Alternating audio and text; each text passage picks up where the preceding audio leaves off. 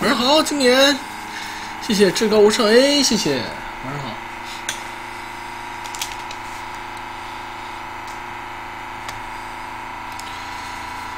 啊！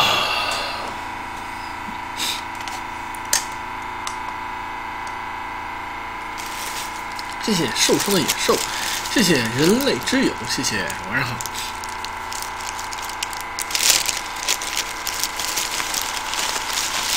谢谢川味萝卜亿万人，谢谢晚上好。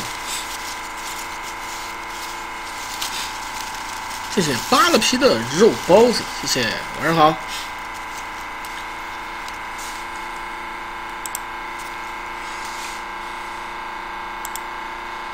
谢谢饕餮，谢谢冲向青铜，谢谢尤克欣，谢谢啊，晚上好。谢谢二零一五兄，晚上好。谢谢拓富文，谢谢圣域雷腿，谢谢 dream dream。噪音，烧水的声音吧？哪来的噪音呢？难道有杂音？有电流麦吗？要是有电流麦的话，稍等啊，去看看麦。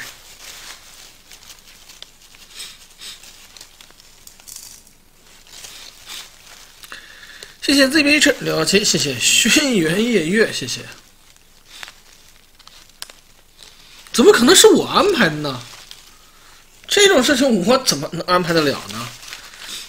谢谢微仙，谢谢青藤花开，谢谢晚上好。那印度人态度不是很好吧？啊？谢谢销售完期货，谢谢。你没发现最近 印度人还算是啊，没有上个月那么暴躁了。谢谢通红那年那些事儿，谢谢晚上好。嗯。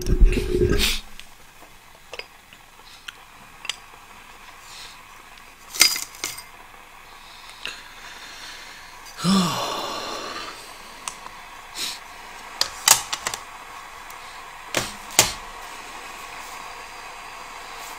新茶上了没？没有啊，等等着双十一的时候一块上啊。嗯。阿三突然识大体了。呵呵。嗯，距离双十一还有二十二天，是啊。哎，其实呢，双十一啊，我觉得呀，呃，越搞越复杂。以前的双十一嘛，就是这一天的时候，各个店家都让让利，是吧？这个，然后呢，买东西比平时便宜一些也就是了，买的越多折扣越大。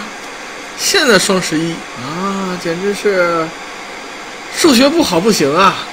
这么加入购物车能怎么便宜？然后呢，凑这个收藏一下又怎么便宜？提前这个买怎么便宜？然后到当天的时候几几点下班？这是几点下单又怎么便宜？总之是折扣折扣折上折折折折，折一会儿折晕了，我也不知道能便宜多少。你要问大店家，这件东西我最少多少钱能拿？哎，人家说你参加我们的活动嘛。嗯，晚上好，一闪 F K，不是晕了。现在就是 电商平台的花样实在是太多了，已经没法看了。谢谢风暴位，也就是说。把平时自己需要的东西先加入购物车，到了双十一当天的时候，哎，如果便宜，那就买了吧。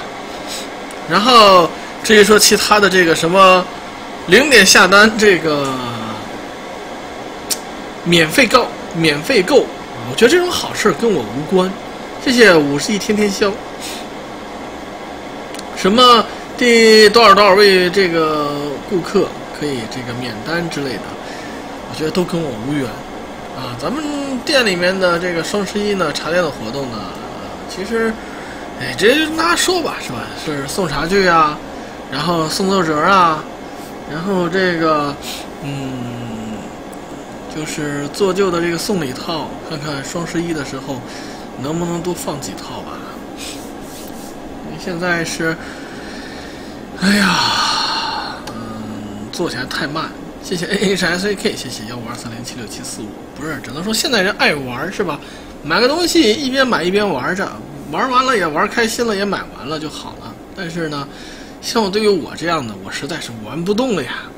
谢谢 I S I 小 S，到双十一一天，其实买的东西也很少。仔细想想的话，谢谢风前求恍惚，可能最多也就是买上一些书嘛，然后谢谢可爱小阿姨，啊，谢谢佛前求恍惚，谢谢 Tim King，谢谢商务，然后最多也就是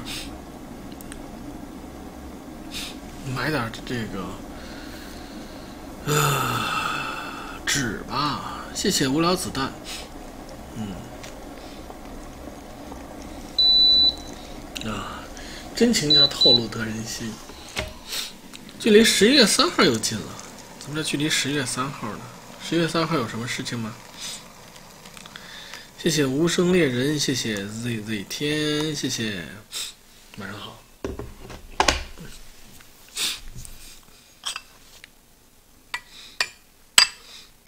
谢谢 JYH 幺三九九四五幺五零八八，谢谢奥利亚之剑，谢谢晚上好。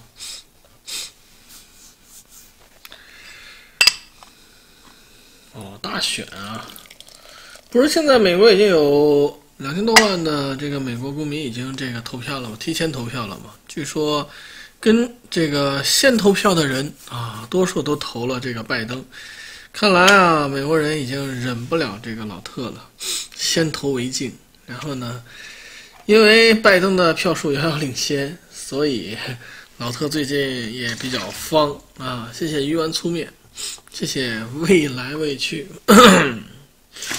因此在国际的这个政治或者是外交舞台上，老特可能会搞出一些幺蛾子。那么据我猜测，嗯，国内的话，最近的外交就是最近这两周的外交吧，大概也会奉行这个就是稳健的路线。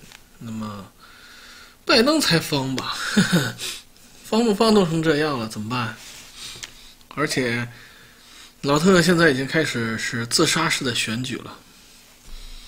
今天的这个新闻爆出来言论，不是也是挺夸张的吗？老特说：“你们一定要选我呀，千万不能选拜登。”人家上面就问呢：“为什么呢？”因为选了拜登，拜登一定会听这个科学家们说的。合着您在过去很长的一段时间里面，从来不听科学家说什么，是吗？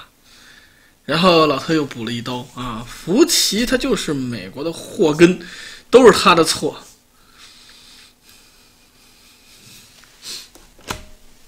嗯，这这夫妻也是躺着中枪啊！这啥时候这这这控制个疾病也有错了？是吧合合着由疾病传播是吧？才应该是 CDC 干的事情。说天天就带老特的节奏，老特是自己带自己的节奏，你说搞笑不搞笑？呵呵，谢谢点三框，谢谢 Hans Lander。哎呀，只能说，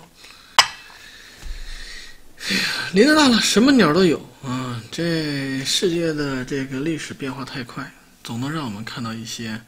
匪匪夷所思的事情，嗯，只是不知道那些特朗普的支持者在听特朗普说出如此多的这个言论之后，是不是会一如既往的支持下去？嗯，谢谢为了健康不看直播，谢谢火柴人。至于说拜登放不放，老特这种自杀式的选举，自杀式的宣言啊。呵 呵莫名其妙。好了，说这烂摊子我怎么办呀？谁知道呢？这可能也只有美国的精英才明白现在美国的真实情况是怎么一回事儿包括财政啊，包括新冠的实际传播情况呀，包括军事啊等等其他的。外面的人，咱们也只能说，哎，管中窥豹吧。能看多少算多少。嗯嗯。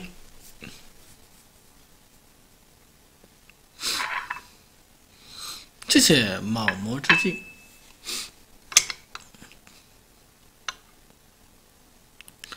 谢谢万剑皇说，你就知道老特败选后会不会真的跑路？往哪里跑啊？他有地方跑吗？难道从俄门是真的跑俄罗斯去？那就滑天下之大稽了。谢谢逍遥金上玉龙飞，谢谢。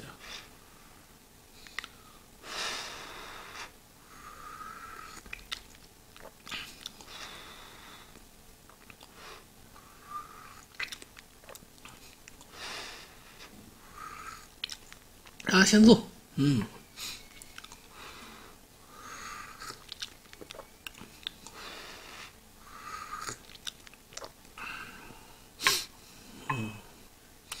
谢谢他说不会的，哪那么夸张啊？历史上啊，还没有出现过这样的这个先例啊。我觉得所谓的通俄门，也不过就是炮制出来的这个烟雾弹。真要是通了俄了，美国不早就炸了？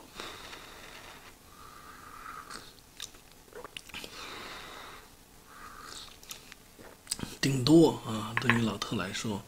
为过去曾经犯下的错误，也就是新冠疫情的应对方面，唉，最多也再被律师提告一下，是吧？然后呢，告完之后呢，哎呀，法庭上争执一番，然后此事不了了之，还能怎么样啊？对吧？这世界是，不是大家想象当中那样能非黑即白的。谢谢追梦追梦，毕竟当过总统，还是嗯有一些特权的。说赔死他，怎么赔呀？对吧？你这他妈老他卖了，也不能弥补这个相关的损失啊。最可最让人觉得不可思议的事情是什么？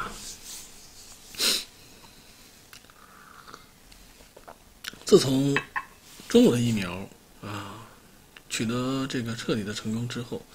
世界上其他国家啊，尤其是以欧美为代表的发达国家，再也不提疫苗二字儿。可笑的是，既不调疫苗的研发，既不提疫苗的研发，也不提疫苗的这个接种，就好像这件事情从来没有发生过。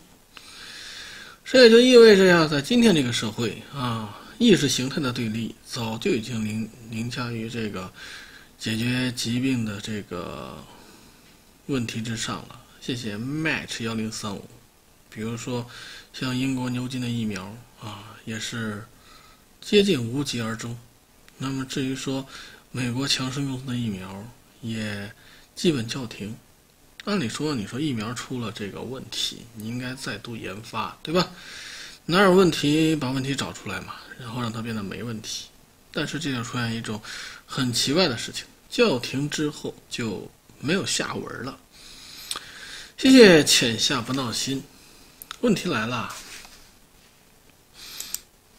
真是要这么任由新冠去这个啊传播下去了吗？谢谢 zxzf 这零零七，谢谢啊！真就一万一一万刀一个疗程了？不一定啊。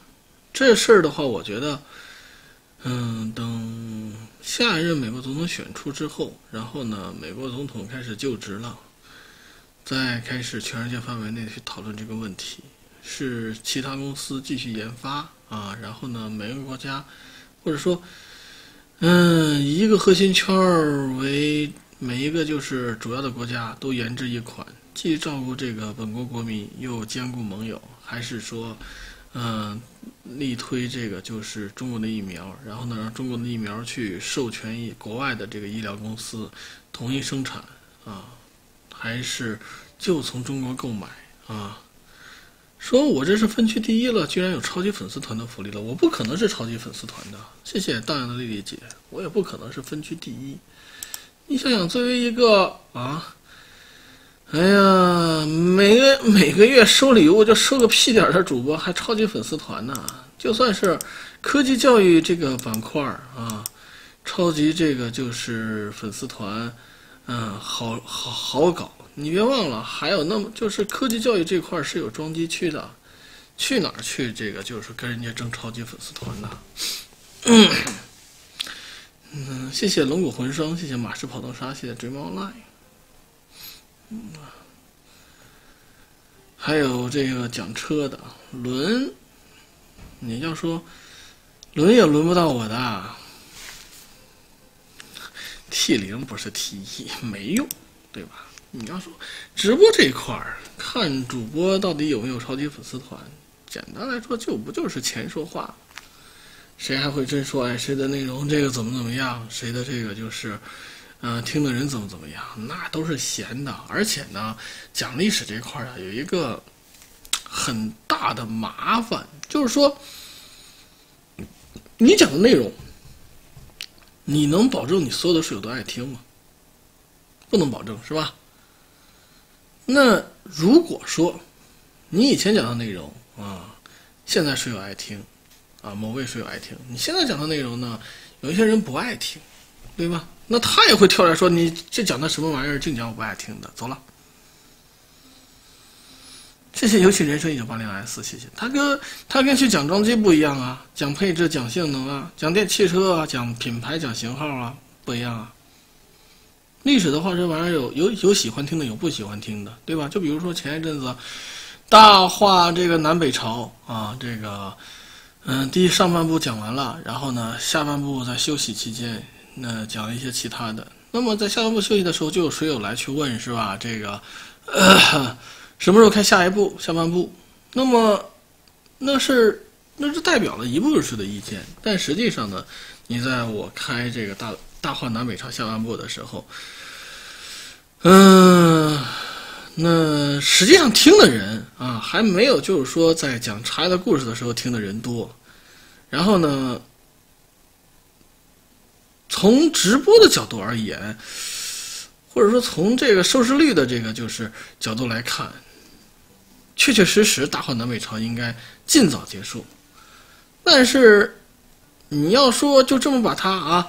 这个听的人少，或者是这个就是，呃，怎么样？你把它草草结束了，那还是会让人觉得啊，你听我是不是太功利了啊？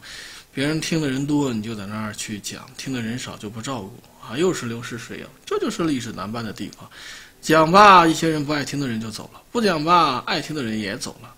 这种就有时候也会让我觉得无所适适从啊，怎么办？啊，嗯，那有人说 去跟其他板块争，怎么争啊？而且历史这种东西啊，它只是少数人去真正关心的，对吧？真正多数人关心的是什么？大家耳熟能详的东西，而且能嗨起来的东西。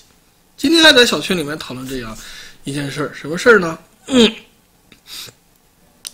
谢谢鬼家军进军统领，谢谢包宁。那么。在讲这样一件事情的时候，讲什么呢？讲三国是吧？说啊，讲三国很火，讲三国很火呢。说去分析这个就是，嗯，刘备啊，刘备只要刘备活着，诸葛亮在，刘备就一定能够就吞并这个魏国。然后呢，当事人是这个就是一顿这个狂分析，然后。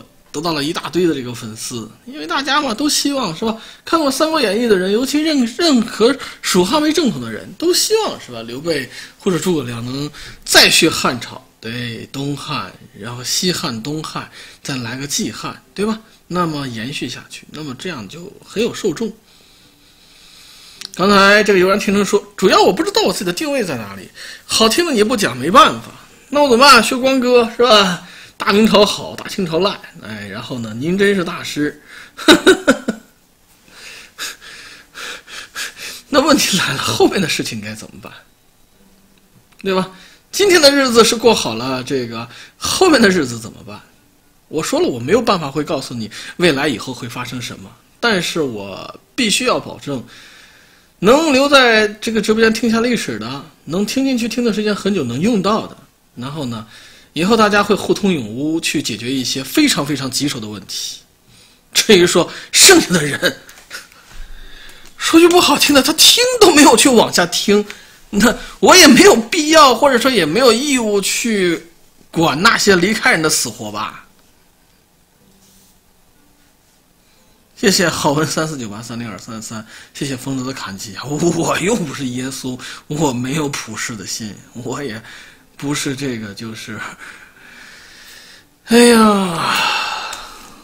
呵 呵那些想怎么样去扭转乾坤的人，我只想把自己的日子搞好过好了。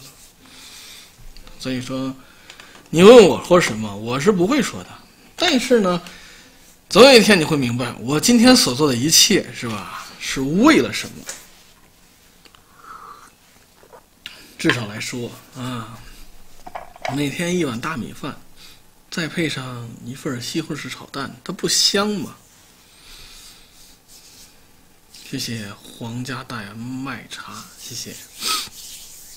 什么叫我不需要说，只需要安排就好了？也不是打死我也就不说。那随着时间的发展，随着岁月的变迁，我只能说啊，大家会看到更多匪夷所思的事情。我在修改修改秦汉史的剧本，我在修改修改秦汉史的剧本，我就饿死了。你还让我先把奏折卖一卖吧，啊！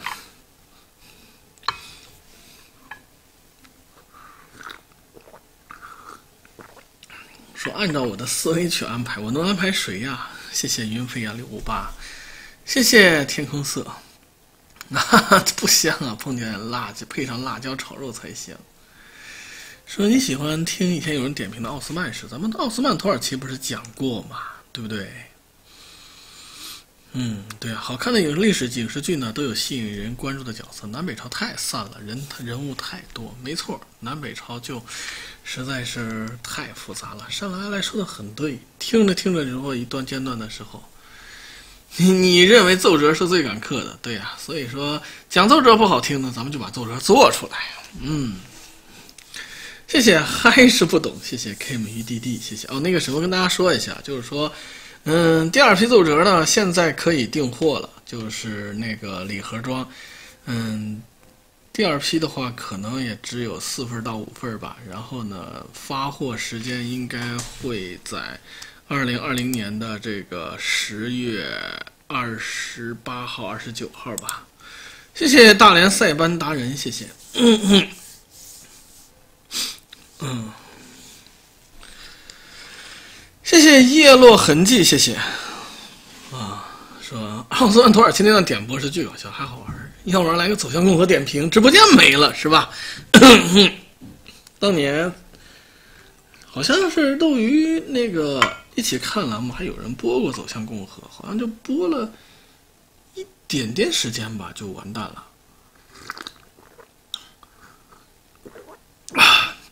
谢谢壮壮家的范特西，谢谢追三三零。嗯，晚上好。没了，不是第一批已经全发完了，第二批的话，这不是你要说那个看的那个节奏太多嘛？因为走向共和牵扯到很多很多的这个跟近代史这个就是相关的人物，动不动就带着带着是吧？清朝怎么怎么样，然后呢带民族节奏的啊，那是怎么怎么样？那那那玩意儿。剧情没有什么事儿是吧？那这个节奏谁能控制得了呢？对不对？然后比如说在播袁世凯的时候，动不动就是袁世凯怎么怎么样。哎呀，嗯 嗯，作为这个主播，能管得住水友去发弹幕吗？既然管不住水友发弹幕，那只好去接这个更换这个直播的内容嘛。对吧？剧情有什么问题呢？但关键是，点评的人有问题，那剧情就跟着有问题，对吧？还有人就是说《走向共和》在播的时候，其中争议最大的不就是说去这个就是，呃，怎么说呢？其中争议最大的不就是在洗白李鸿章吗？因为在很多中国人的心中，哎，谢谢大连三班达人兄弟送的一张办卡，谢谢。在很多中国人心中，李鸿章是个什么样的人物？卖国贼呀，对吧？包括在小时候的时候听人说的时候啊，李鸿章签订了这个马关条约，然后呢，怎么样使中国丧权辱国？怎么怎么样？这个说一大堆。谢谢 JQA 零零，谢谢圣贤出席。那毕竟啊，你说。单看大方面的历史，李鸿章签马关条约是中国啊，是给中国蒙受了巨大的损失，也是没错的。然后呢，加中日甲午战争啊，打的是一塌糊涂。哎呀，但李鸿章啊，他作为清朝啊的这个可以说最后一个擎天一柱吧。他所做的很多事情也只能是就是说，啊，迫于无奈。这些火箭戳戳，因为大厦将倾，独木难支啊。就算是有这么一个擎天一柱，也只不过能减缓的是什么？这栋大厦倒下来的时间。谢谢一心，谢谢灰拉提的苏克。毕竟，在过去，从乾隆年间的时候开始，到这个咸丰年间，有半个多世纪的时间能去修正这个相关的错误，都没有，对吧？就说呀，好好的什么赚钱不好吗？对呀，这就很正常。谢谢卖眼睛的阿万。有人说点评这个点评那个，哎呀，跟主播没有任何关系。谢谢悠然天成送的办卡，只是跟人们的看法有密切的关系。或许吧，再过一百年、两百年，嗯，至于说甲午战争打清能撑多些日，打不赢的，嗯。说讲讲鬼故事，鬼故事、恐怖故事，现在瑜教有啊，而且人家讲的也不错呀。我认为讲的比我好多了。而且啊，你要说呀，讲这些鬼故事什么的，又会有一大堆水友。哎呀，来个历史直播间还听这个，我还不如听那些讲鬼故事的主播呢。这怎么说呢？青潭花开，众口难调啊。也是，这也是为什么。哎呀，想要人气满满是吧？这个。还要让大家都能听到自己想听的，知道我有多难了吧？嗯，谢谢 QM 九九七五七啊，有点心意啊！家务打赢了，家务打赢了就打赢了呗。嗯嗯。谢谢死亡计时，谢谢森特影。我讲过一次，对啊，以前讲讲子不语，其实子不语呢，在本直播间受欢迎的这个程度是吧不高。说我应该呼吁一下每个观观众，每个星期至少给我办个卡，给点入场费。唉，其实啊，你要想啊，悠然天成，如果说以后你要做类似的事情，我奉劝你千万别这样去做。原因是什么？你这么一呼吁，本来还会发言的人不发言了，为啥？人都是要面子的，你呼吁了人家发弹幕，他没得办，他他他没消费。那么谢谢 sky 幺零兄弟送的办卡，谢谢你这样的话，弹幕越来越少，人气越来越低。其实你会发现，以前讲在鱼教讲历史的主播很多，其中有一些主播啊，不乏这个，就是谢谢一心兄弟送的办卡，谢谢狼雕客，谢谢 D T Y 九一，不乏什么，谢谢凤三红。不乏这个人气比较高的，这点我相信大家都明白。虽然说，嗯，鱼教那个时候是小区，但比现在人气广多了。但是呢，很多主播都在犯一个错误，他们就认为这种知识付费它是硬性的。谢谢谢谢善良的小青柑是很好喝的，对吧？动不动就是说看到一个人来了要一张办卡，看到一个人来了要一张办卡，看到一个人来要一张办卡。那问题是，水友嘛，谢谢一个快粉刷掉，谢谢柔风快枪。慢慢的，这这就感觉这种就是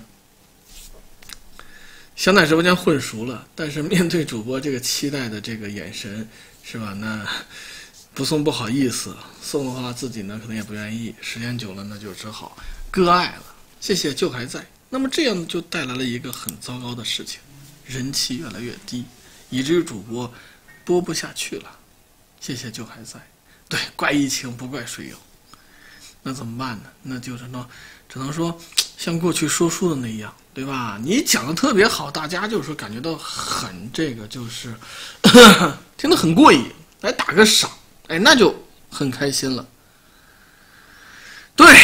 有些事情啊，历史怕有人，历史没有对错，只有结果和未来。就是过去的每过去的一些事情，至至今还影响在今影响着今天的世界，今天的中国，今天的我们。双十一就是送买茶四有赠品嘛，咱们买茶的话，买的多的话，那个折扣能多一些吗？这这是事实。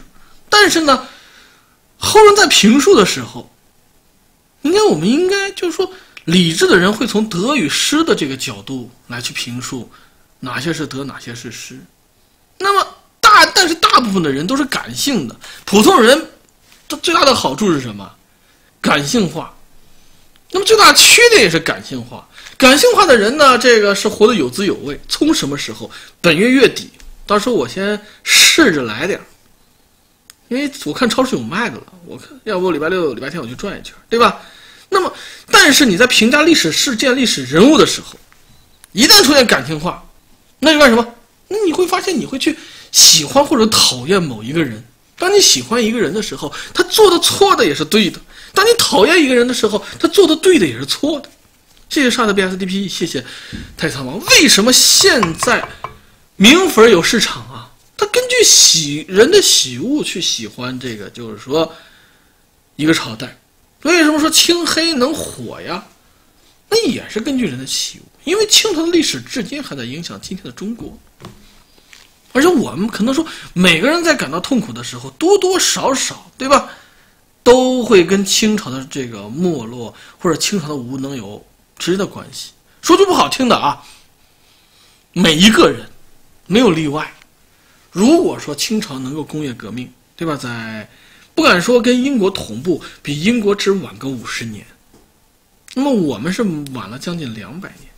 那我们今天中国的生活不会是现在这个样子，科技不可能跟美国有那么大的差距，对吧？那么国家的基础设施也不会像现在这样还不够完善。那每个人的收入或者每个人的日子肯定会。过得比现在应该会好，咱们看平均。谢谢炸这个榨菜肉丝米粉说清朝不该黑吗？这就是一个感性和理性的问题，对吧？你从感性的角度来说，黑没问题，黑他妈影响我今天生活。但是你要从理性的角度来说，我们只考虑过，这个当时的一个决断对今天的影响，它正面意义是什么？负面意义是什么？没有所谓的，就是说我喜欢或者不喜欢，这就是说两种思维。谢谢凌波，你打个比方，比如说清朝是吧，丧权辱国，嗯，失去了对朝鲜半岛的控制权，那对于今天的影响是什么？导致今天美国人的军队就在我们家门口。甚至美国还能把它中这个就是中程导弹部署在这个我们的家门口，就很头疼，对吧？但是你说因为这件事情就恨恨清朝有用吗？倘若是吧，没有这一大堆的乱七八糟的事情，朝鲜半岛能。亲中国远远出出这个出这个胜过亲美国，那我们不会出现这萨德部署在自己家门口的情况呀。嗯，这就是结果。你说我有什么情绪上的变化吗？没有。那么既然出现这个结果了，我们该怎么去应对？你说恨清朝有用吗？清朝都已经成为历史了。那么现在问题是什么？现问题是如何弱化美国在东北亚地区的影响？一旦美国在东北化东北亚地区的影响减弱，这导弹就部署不到我们的家门口。我们要考虑的是这个问题。对呀，既成事实恨个屁呀！怎么想着解决问题吧？说至少别去吹清朝。我说了一旦你用理性去看待清朝的时候，不存在说吹或者黑的问题。对吧？那咱们就是拿领土来说，尽管清朝末年失去了很多领土，但相比明朝来说，清朝做到了这个就是领土的延伸。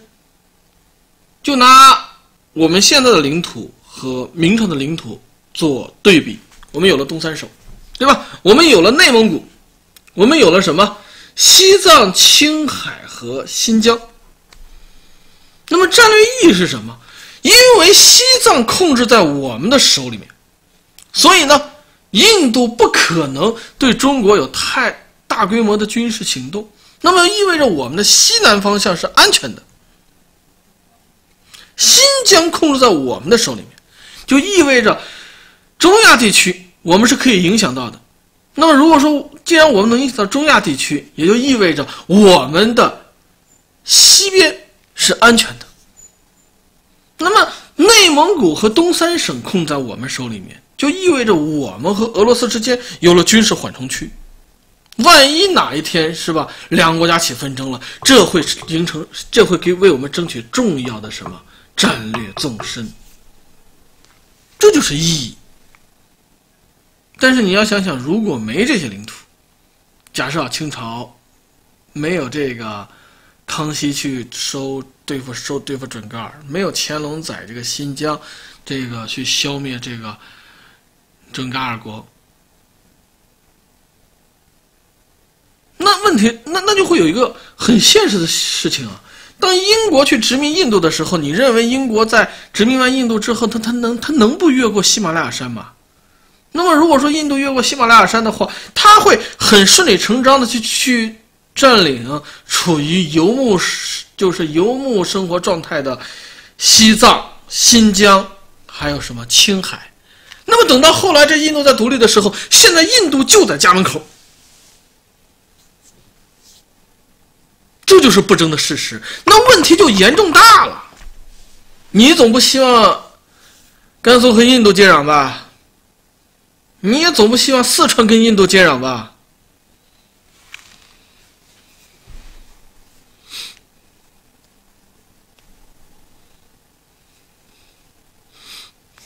嗯，哎，你说这些。那不就是清朝留给现代中国的财富吗？那么，你也不能说为了黑清朝把这些重要的财富一笔带过。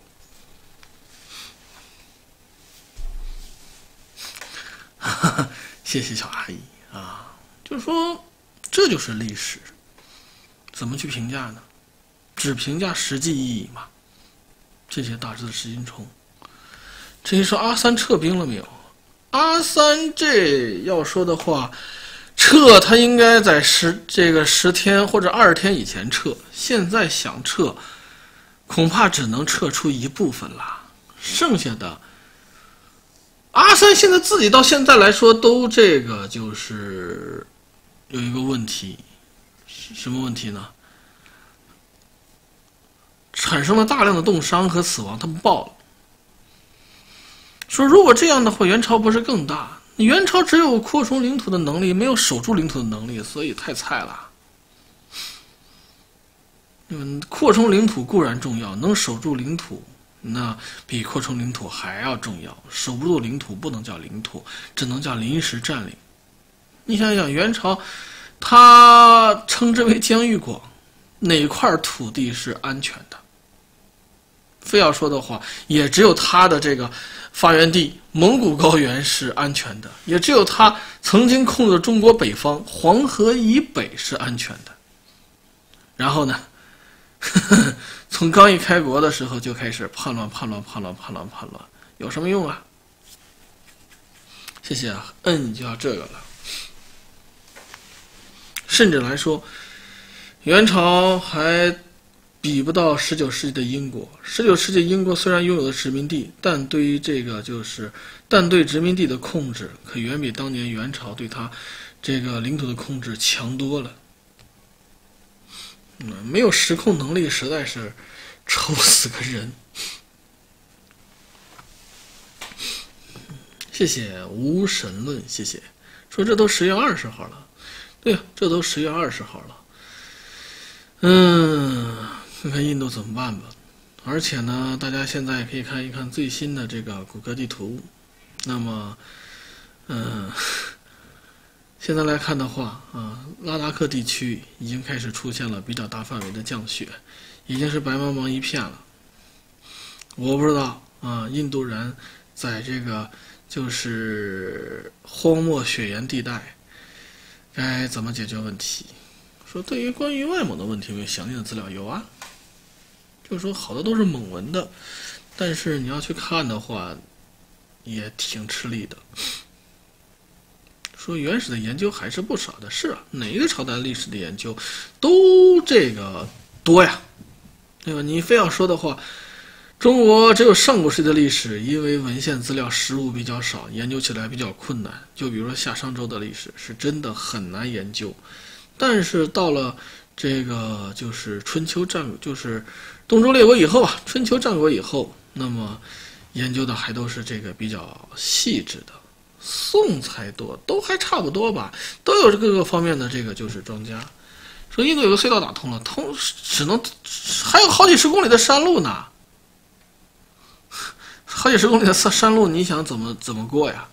谢谢王大锤 TCT。他只是说中间的一段啊有隧道了，你不能，你要是全程隧道的话，那就要考虑考虑这个印度的某补给能力了。关键只有一段啊！谢谢王大锤 TCT。啊，晚上好。然后明清都不少吧？你比如说，拿西安的那些大学来说，研究这个，嗯，隋唐史的这个就是人特别特别多。然后呢，嗯，拿北京来说，人大是研究这个清史是非常专业的。然后清华那边的话，秦汉史，清华北大是秦汉史还是比较强的。然后在中国，就是说像浙江啊，还有就是就浙江的一些大学啊，名牌大学，研究这个宋史的比较多。至于原始嘛，这个我接触的少，嗯，但是肯定也这个你放心，是少不了。世界史的话，嗯，基本上各个大学都有啊，但是都要选方向。拿中国来说的话，中国，嗯，选西方史的，就是研究西方史的人相对多一些。比如说像研究英国历史的呀，研究美国历史的呀，这都是有的。但是中国来说的话，研究古埃及的历史是非常的少。然后呢，研究中亚那些国家历史的人也非常少。谢谢全牛胖了，好像就是中国古埃及历史方面的研究，博士生就招一个吗？还是招两个？那这样算下来的话，研究古埃及历史方面的中国的专家，可能全国范围内就是这个一二十个人。不是语言不会，研究对应国家历史肯定是要修这个对应国家的这个文字的，这是通的。嗯，说阿三阿三现在连送命的人都不给抚恤费，那边都闹开了，那怎么抚恤呀？前面不是算到了吗？我说，阿三只要拖到这个十月十号以后，今年的冬天会比往年的冬天冷许多，那么会造成大量的冻伤和冻死，那他自己去想办法。谢谢咚咚咚 G H 四 S F G。那至于说。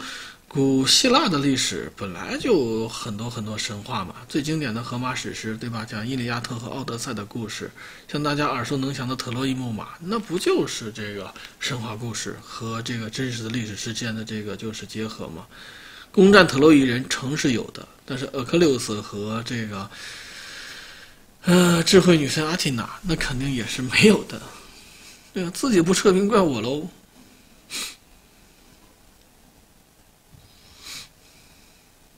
毕竟是我们前线的保障是做到了，就包括这个，就是说冬季都能吃到这个热乎乎的食物啊，也不奇怪吧？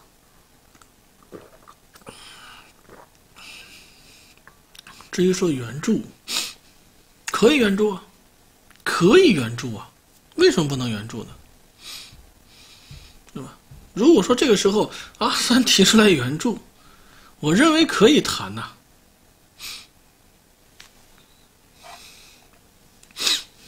对吧？但是谈的话，不能白援助吧？谢谢杜文涛一九八零，毕竟我们把各种各样的物资送到高原上也是很花钱的哟。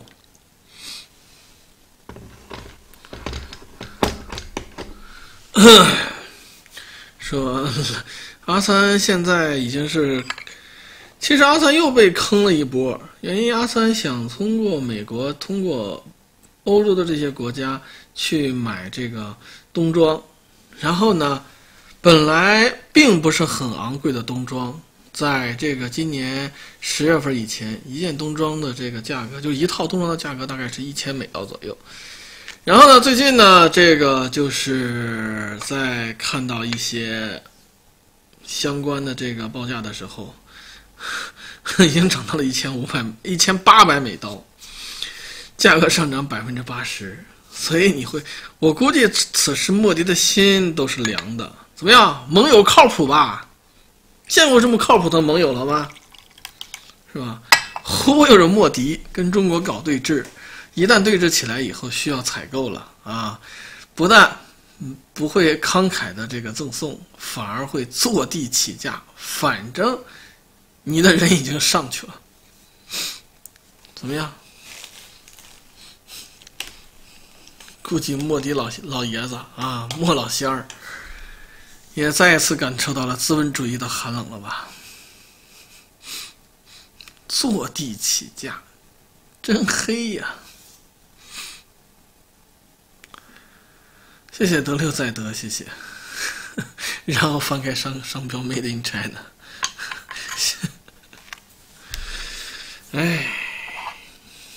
谢谢正不胜邪，以至于三哥都已经去回收二手的防寒服了。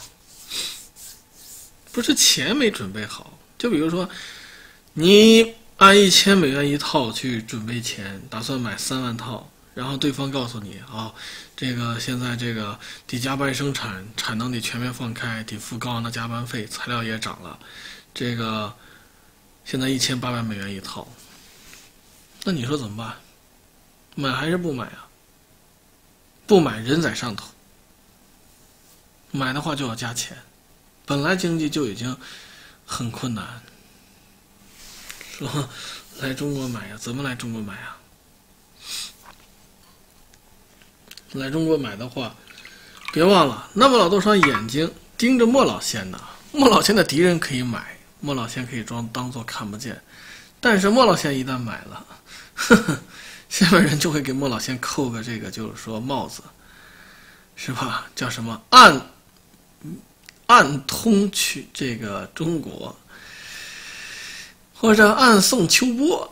哎呀，莫老仙不但政治生涯结束了，还有可能被送上断头台呀！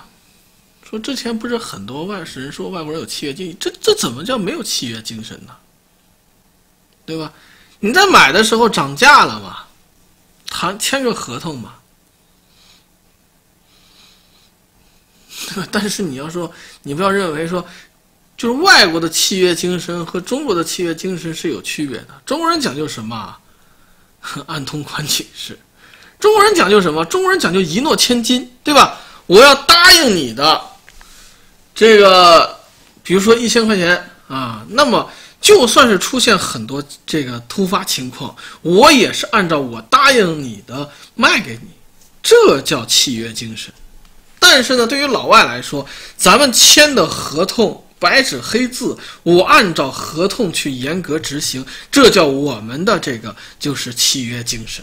但是呢，在签订合同的时候，也会注明一些不可抗力因素。比如说原材料上涨、人工上涨，如果出现类似情况，就会有补充协议。然后呢，一千美元变成一千八百美刀，我没有违反我的合同。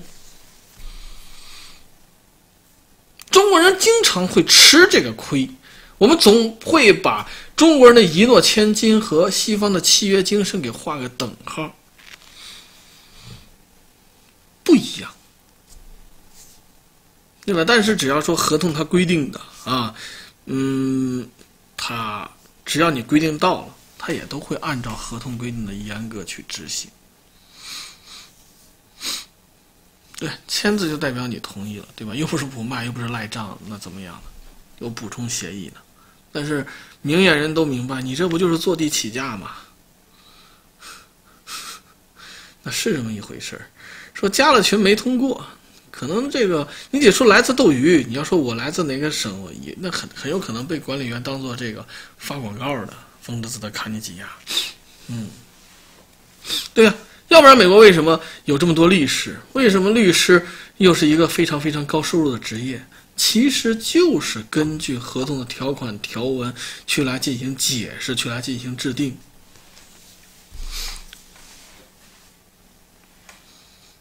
那至于说啊好或者不好，只能说合理。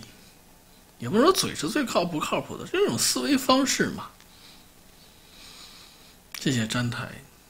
西方人的契约精神，一切都是以文字为基础。而中国人所说的契诺契约精神呢，我们总会去奉行一诺千金，说到做到啊。就算是出了状况，打碎了牙齿要往肚里咽，那还是有一些区别的。嗯，你说我。来自天火直播间，那不应该被拒啊！等着吧，可能管理员都不在。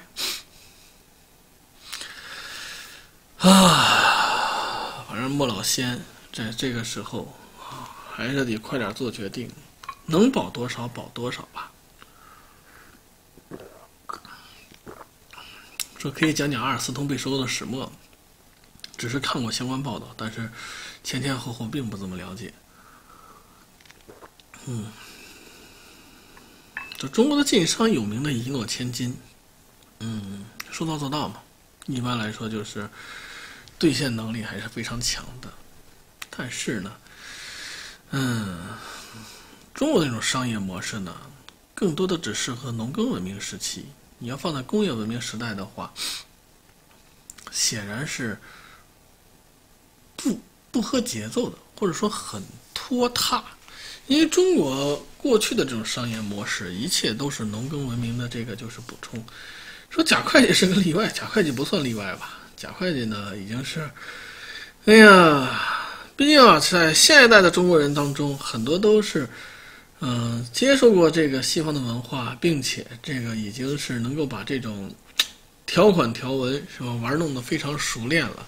再把这些条款玩得熟练的时候，也会按照西方人的方式去做事。那么，你就就说就谈假会计的问题，很多人从中国人的角度来说啊，这个看假会计说假会计这不是诈骗吗？这不是犯罪吗？这都不抓。我当时说我说假会计是真没犯罪是吧？真的，就是说按照人家是履行合同不算诈骗。他说你你是不是拿了假会计的这个就是黑钱？我说我没有。如果说贾会计涉嫌犯罪的话，他早就被拘起来了。毕竟他的公司在开创起来之后去拉风投，什么叫风投？风险投资嘛。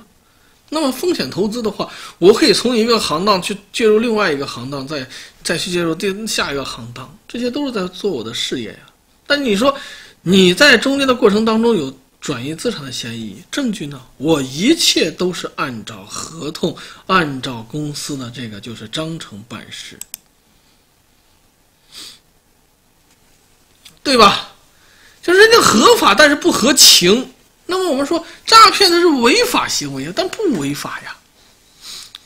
但是这种情况，明眼人都知道是怎么一回事那怎么办呢？查缺补漏呗，跟城市化进程也没有什么关系。只能说啊，老贾啊，把华尔街那一套学的很溜，不是合法的，没那你你这能就是说，他造车合法不合法呢？去美国造车违规不违规呢？那你怎么办呢？不是你可能认为这有很多很多的这个弯弯绕绕在里面，只要像他这么大的公司所走账的时候都是明账啊，你能怎么办？这叫 master machine。那是我上一个项目有错吗？说合法与否都靠人解释，这不就回到了一个契约精神的话题吗？你一看合同，对吧？你说我可以告你，对面立马就会有一个律师团来应诉，说不可能都是明账，不能走暗账。越是聪明的企业，就是说越是会玩的华尔街大佬们，都是明账。没有暗账，但是他明中有暗。你就拿老特来说，是吧？他破产了，但是他把他所有的企这个财企这个嗯资产抵押给银行，然后呢资不抵债了，老特说，你可以聘请我当 CEO 我通过赚钱来还债，那么对于债务人而言，只能够接受老特的这个请求，那么老特还是公司的实控人，你能怎么办呢？谢谢莫道人生常思梦。就你说这个就是原油宝事件，那你说有有暗的东西在里面吗？嗯，这摆明了就玩这么一套，你能怎么样？你说油是不可能这个负的呀，他偏偏给你来了一个负的呀，啊，然后人家说，毕竟谁也没有说说过啊，这石这个石油可以成为负的，你这谁都知道，食物怎么可能成负价呢？没有人规定啊，对吧？人家玩就是大家理所当然认为的事情。那只是大家认为，并没有出现在条文当中。既然没有出现在条文当中，那就可以这样去做，对吧？本来心想是吧，石油价格那么低，那抄了底了肯定是赚的，对，那就一起来抄底吧。结果抄完底之后，让你看看什么叫做这个底是无穷尽的，负的你见过没有啊？谢谢周南阿，谢谢于小豆。你说这种就是名牌，你能怎么样？你说你们有私底下交易怎么样的？这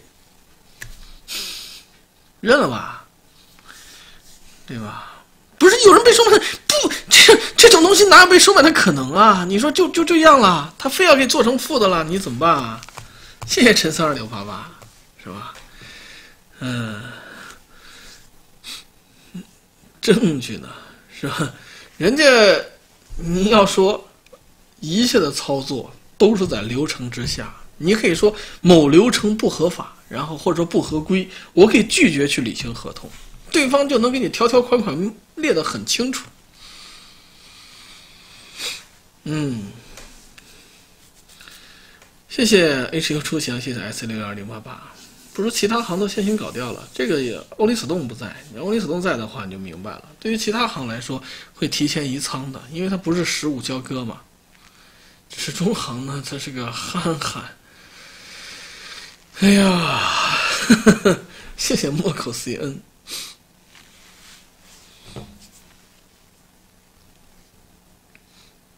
还能怎么办呢？上来吃一堑长一智，上一次当学一次乖呗。下次，反正不能在同被同一颗石头绊倒两次吧。至于说下次出来了新的坑，那下次再说。那还能怎么办呢？嗯，你要说把这个二十世纪的经济史一些经济事件单独这个拿出来讲看的话，你就会发现一个很现实的问题：尽管都是在规则之内玩，但一样是这个玩出花来。对，很多人说这中间肯定有猫腻，没有猫腻。也就是玩规则嘛，一个是规则的利用，一个是规则的解释权。啊，你想嘛，当年老美在去这个狙击前苏联的时候，谢谢为欢若梦，怎么一夜之间直接让这个前苏联的经济崩掉了？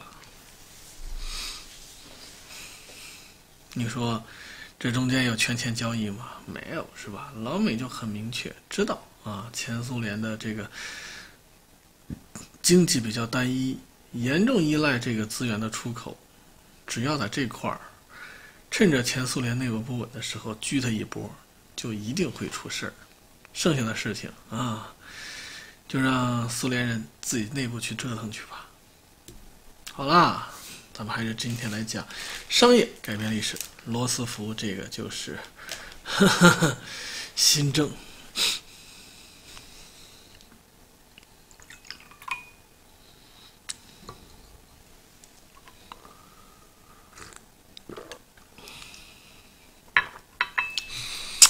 九二九年的大萧条，可以说是资本主义世界的一次前所未有大萧条。也是对当年亚当·斯密这个就是《国富论》的否定，因为在这之前，很多人都迷信，让所有的一切都交给市场，直到今天还有人去认可这个观点，说为什么不引入充分的市场竞争，通过市场竞争去优胜劣汰？但实际上你会发现，如果没有对市场进行行政干预的时候，这个市场就会变得乌七八糟。当然，你可以通俗一点来说的话，我们可以说去看直播，对吧？拿直播来说，你认为直播能脱离行政干预吗？如果说直播没有行政干预的话，哎，就不要去这个，就是挑战主播们的下限了。然后你会发现，收入这个比较高的主播，啊。都会变得匪夷所思，嗯，对吧？就这样还在去是吧？打打擦边球什么的，这也是现实。但是美国呢，在很长的一段时间里面都认为，任何行政手段对市场进行干预都会挫伤市场的经这个积极性，对吧？因为市场在不断发展过程当中，总会。进行淘汰，末位淘汰制嘛，市场会变得越来越壮大。然后，一九二九年的大萧条是给整个世界跟给整个美国的资本家们是响亮的抽了一个耳光。金融行业的崩盘竟然使得整个国家全面衰败。这很难理解，是吧？很匪夷所思。简单来说呀，嗯，我可能打这个比喻并不是很恰当。大家可以这么理解：金融是现代社会的这个发动机，就是心脏。那么血液呢是金钱。那么现在商业体系在流动的过程当中。静脉的血液流入心，这个经过交换，然后通过心这个在肺部进行交换，是吧？吸收大量氧气，然后经过体内的循环，由心脏输出。心脏就是发动机吗？提供动力吗？那么，倘若心脏所需要的血液太多，人的其他器官，这个四肢是吧，就会缺乏，就会缺血。那你想想，如果说人的四肢缺血的话，这人要能正常才怪。那么当时美国就犯了一个错误，就是让太过多的血液去流入到这个金融这个心这个心脏当中。那么当心脏开始出问题的时候，那么用现代医学来说，应该对心脏进行什么心肺复苏嘛，人工抢救嘛？美国人认为让他自己来，哎，他自己会好的。好，心脏一定出一旦出问题。就等于血液供应出问题了。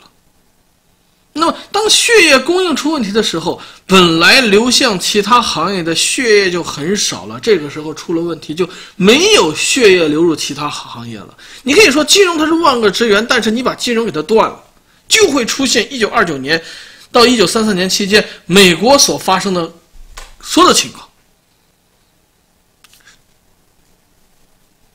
缺钱。商品是没办法进行流通了，所有的商品都滞销。那么，当商品开始滞销的时候，工厂就会随之倒闭。当工厂随之倒闭的时候，工人就会大量失业。工人大量失业之后，就更根本没有办法去消费这个大量的商品。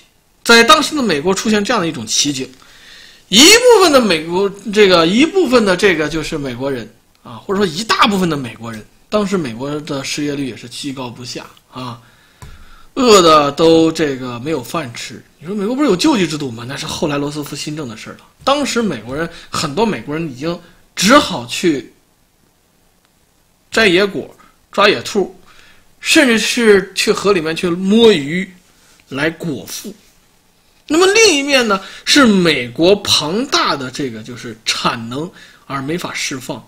在农场主的这个这个谷仓里面堆满了卖不出去的谷物，在这个仓库里面堆满了卖不出去的棉花，然后呢，一桶一一桶的牛，这个一桶又一桶的牛奶啊，都在堆在地上，卖不出去。你说这这这不扯淡吗？如果说把这些东西啊都调拨到这些饿肚子的人手上，到这些人吃饱了穿暖了，有能力工作了，整个社会不就变好了？关键是在自市场自由的情况下是没办法进行调控的，这需要行政干预。但美国在在这之前非常非常否定行政干预这件事儿。那么这时候又会发现一种奇景：农场主们见牛奶滞销了啊，宁可把这个牛奶倒掉啊，一桶一桶的倒到河里。粮食这个开始存储不住了，把粮食一堆一堆的运出来，点一把火烧了，点燃它。棉花也是一样，一大包一大包的销毁。那么。对于这个马克思来说，那么马克思在写这个就是《资本论》的时候，就曾经也谈过类似问题，说这个资本家呢，为了追追求剩余财富，宁可把这些东西倒掉毁掉啊，也不会分给穷人，来证证明资本主义的万恶。呃，这是马克思的解读。但是你要从西方经济学角度来说的话，当时的这些农场主是被迫销毁这些农牛奶、粮食和棉花。为什么呀？原因是这样的，牛奶从奶牛身身体里面挤出来，放到牛奶桶里面，那么你就需要去对它进行这个保存，你对它去继需要进行加工。在当时整个社会经济出现问题的时候，保存加工都需要花费大量的金钱。可是这时候农场主他已经是破产了，没有钱的了。请问他从？哪里去募集钱去进行保存、去进行加工呢？你说不可能？难道不会把这些牛奶去拉到城里面去送给那些饥饿的人吗？请问，车要不要钱？车烧的油要不要钱？这些东西都是成本。农场主已经破产了。那么，所以说，当时这些农场主虽然舍不得，也只能。这个就是把牛奶倒掉，没办法，经济出问题了。粮食也是如此，存储粮食，咱们以前在直播间里面说过，它也需要付出昂贵的保管费。尽管上个世纪三十年代的美国还不会像现在一样的这个保管条件如此苛刻，但是也很高昂。棉花也是如此，怎么办？销毁吧。这就是说，你看待站在哪个就是角，就是你站在什么样的角度来看待这个问题。如果说你站在社会底层的角度来看，牛奶倒掉啊，这个也不给穷人喝，资本主义很无情。但是你要做站在市场角度来说，也只能把它倒掉。为什么？这样遭受的损失是最低的。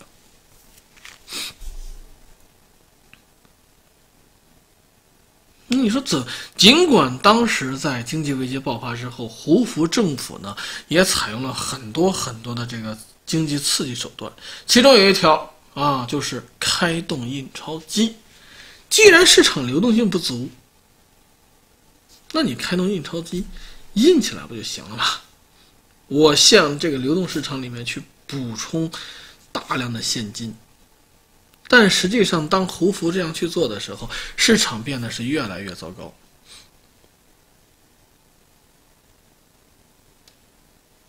有人知道为什么？就是，既然已经判断出来市场流动性不足，那往市场里面去投入更多的货币不就行了吗？为什么？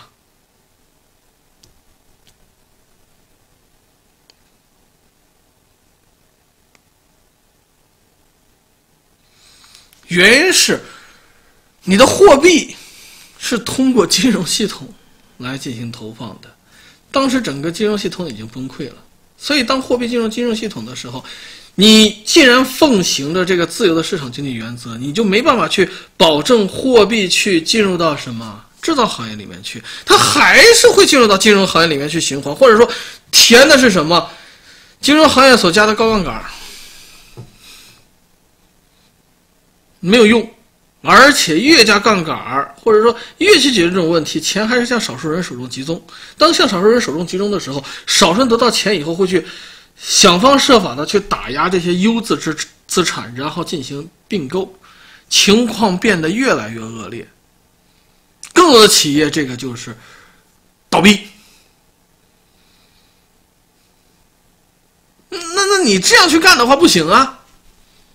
因此，胡佛政府呢，就在一个非常非常尴尬的情况下，是这个倒台了。那怎么办？需要新的人去解决这个问题。当时的美国摇摆于两种这个主义之间，一个是以前苏联为代表的共产主义，当时美国也的的确确出现了很多很多的这个共产主义者，要把美国变成一个共产主义社会。那么。资本家也是进行了这个严厉的这个抵制，毕竟俄国十月革命啊看在眼里面。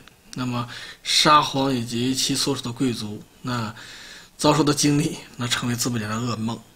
那么还有一种就是法西斯主义的兴起，这也是当时美国走在一个十字路口的时候。因为我们说，无论是俄罗斯，就是前苏联式的这个这个计划经济。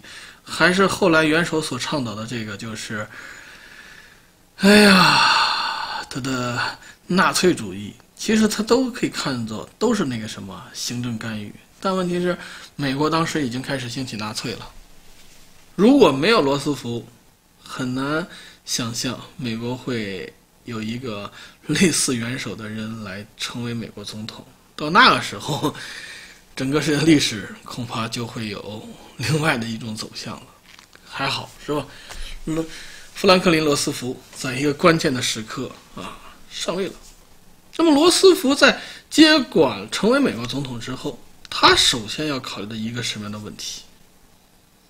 既然胡佛所做的一切不管用，只能把情况变得更糟，那么有胡佛的失败在前。罗斯福就可以有一种非常非常啊足够的理由、坚定的理由去干什么？按照自己的意愿去拯救国家。如果没有胡佛的失败，也不会有罗斯福新政。这也是历史的一个必然性。如果没有胡佛搞出这么老多幺蛾子，用尽了一切常规所用到的方式，当罗斯福提出行政干预的时候，罗斯福的这个政见根本不可能能通过，就会被国会给打回去。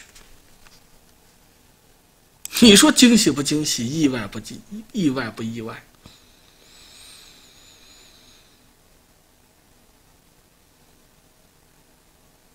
好，那么既然要通过行政干预，那么美国总统的权力太小了。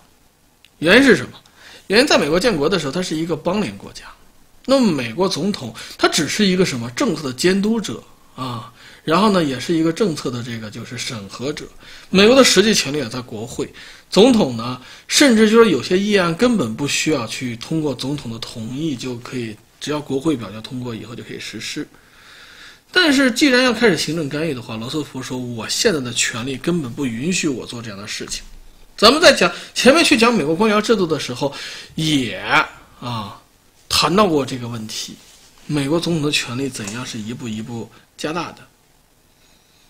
那个时候，美国已经烂成一团糟了啊！美国的这个贫困人口已经是直线上升。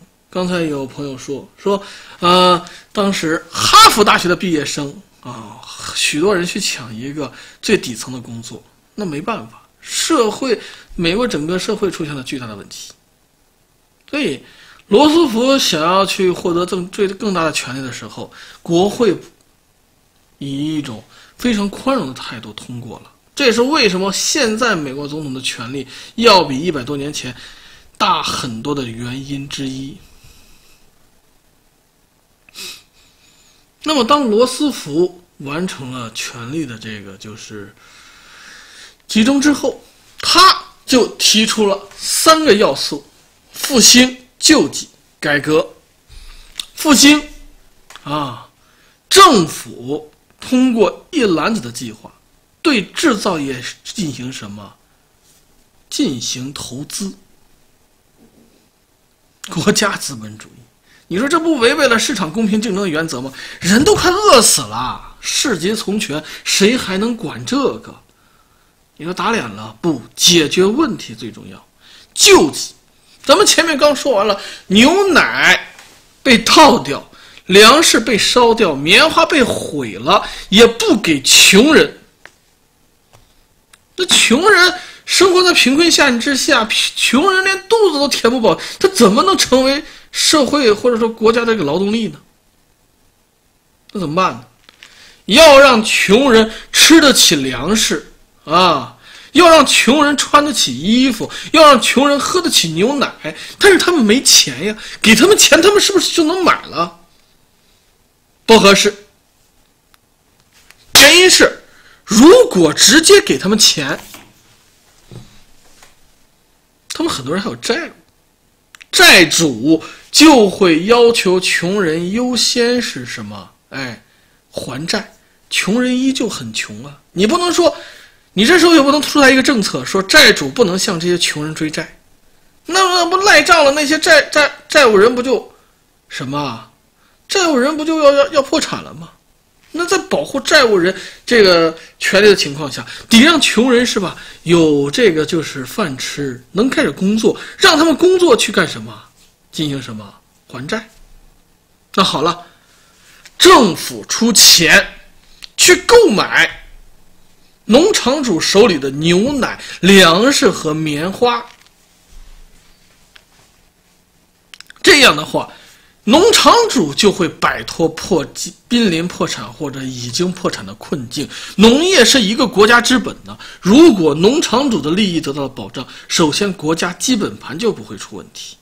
那么，既然国家买了这么老多牛奶、粮食和棉花，国家存这些干什么？战略储备也是有限的，就需要把这些牛奶、粮食和棉花分配到那些穷人手中。社会救济制度，这也是美国为什么会有食品券。有口饭吃，让这些穷人不再会为五斗米折腰的时候，能开始让他们成为生产力去进入到这个，让他们成为劳动力去进入到各行各业当中。改革对金融这个制度来进行一系列的改革。罗斯福呢，在这个时候大刀阔斧的是，哎呀，改变了美国的这个支付体系，因为当时呢，嗯，美国呀还对这个就是说还没有完全废除金本位制，那么黄金和货币之间呢是有一层这个就是呃是有一层交易关系的。任何一个金融家都可以去购买黄金，也可以拿黄金去这个兑换美元。罗斯福进行了一次改革，改革什么？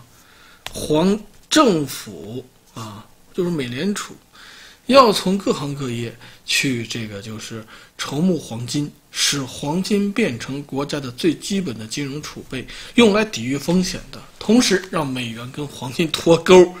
那么也不允许个人去大量购，不允许金融机构或者个人去买国家的储备黄金。这一手就很毒辣了。原因是啊，当大量黄金集中在国家央行手中的时候，那么就意味着国家信用不会破产。国家信用不会破产，那么以国家信用为依托的发行的美元就不会破产。那既然美元不会破产的话，那么美国的经济就会重新建立新的循环。但是你这样去做的话，就相当于把很多过去的规矩打破了。自由的贸易怎么可能不允许买卖黄金呢？自由的贸易怎么可能去，就是国家去买断这些基本物资呢？这个贸易怎么是国家去向这些企业进行投资呢？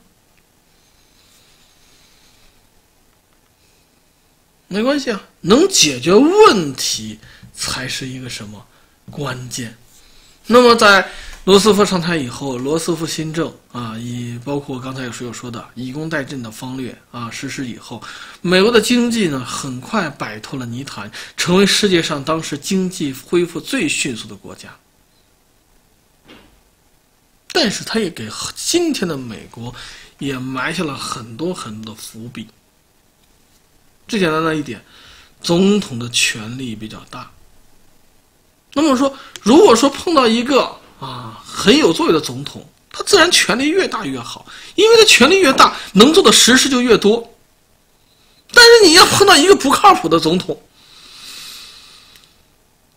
这一战都结束了呀，二战爆发，你碰到一个不靠谱的总统，你还赋予他很大的权力，就会出问题，对吧？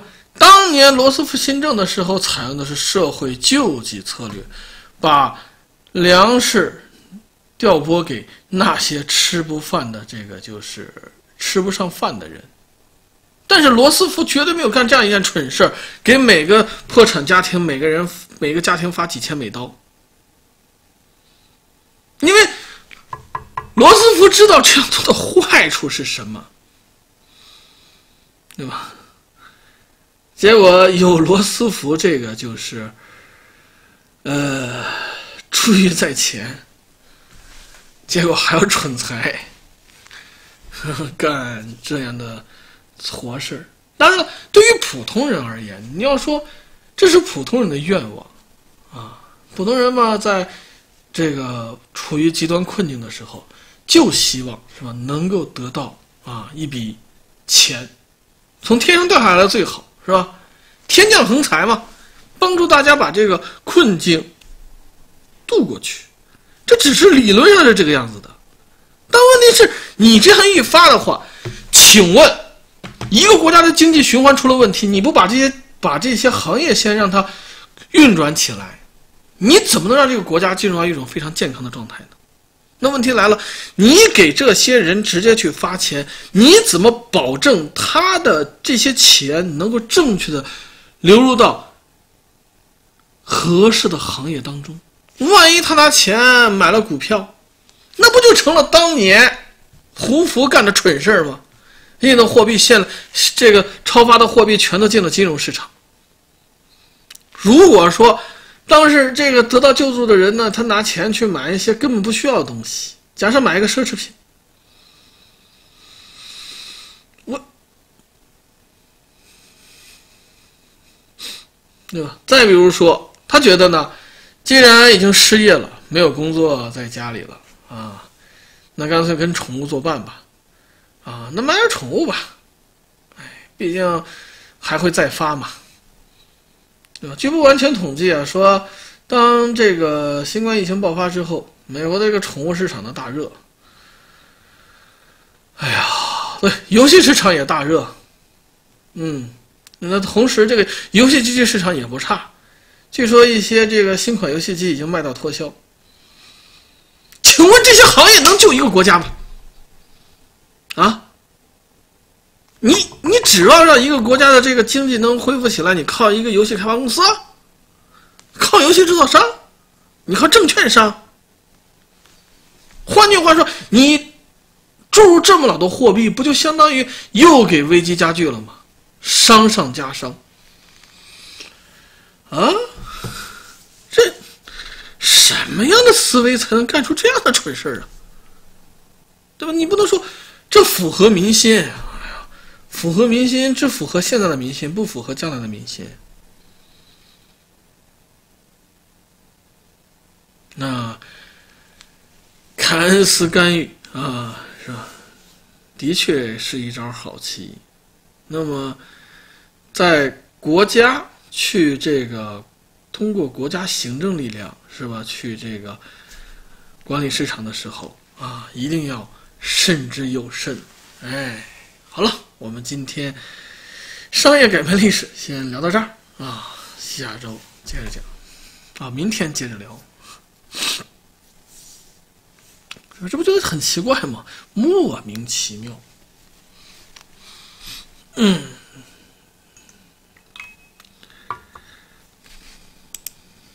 好，新来是没点关注，点关注啊。啊，觉得说那不错啊，小礼物可以走一走，嗯，那歇会儿来聊情绪。不是不是，你就是说你这个钱啊，你在关键的时刻的时候，钱可以发是没有错的，但是呢，你要保证钱得配置到正确的行业当中。就是说，比如说啊，现在这个能源企业有问题，那么我就要保证我印出来这货币能进我的能源企业，对吧？我是如果说运输行业有问题，我要保证我印运出来钞票能进到运输行业里面去，带动就业，去带动带动生活，对吧？那么，就拿我们国家来说，咱们国家也受到疫情的影响很大。我们发的就是消费券。都喜欢练字的话，行楷什么楷都可以吧，对吧？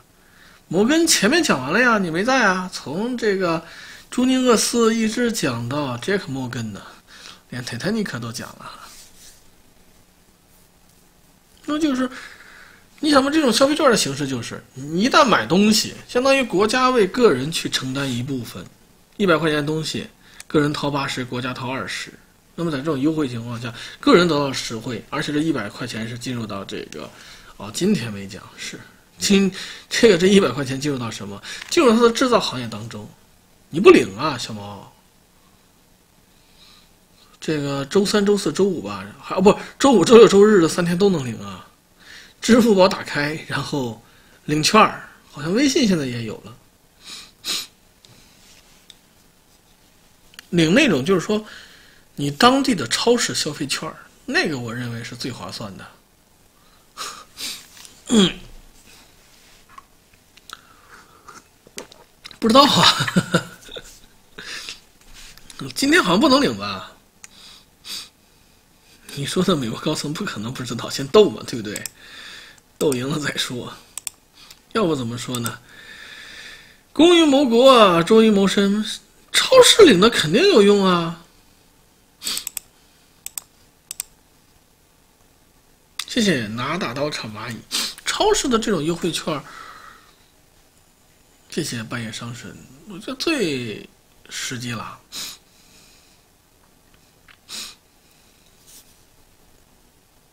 不用，就是你打开支付宝有个领券领就行了。你去超市买肉不就完了吗？超市的肉价和市场的肉价现在大差不多嘛？谢谢本宝师，就是我说的那个，满一百减二十的，嗯，买肉是最划算的了。谢谢这么玩大了。嗯，说这优惠券网上一堆骂的很正常啊，人们都喜欢像领现现金嘛，对吧？都希望像美国那样。这一千刀一千刀的发多实在呀，什么肉都可以啊，就买生肉嘛。对呀，和说和外国直接发钱差远了。然后呢，继续吹泡泡，哪有钱舒服？结果呢？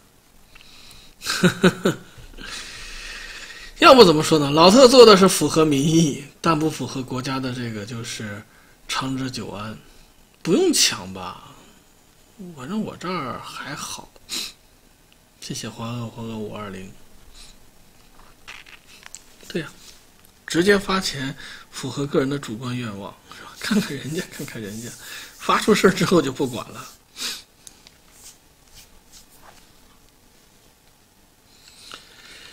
嗯嗯。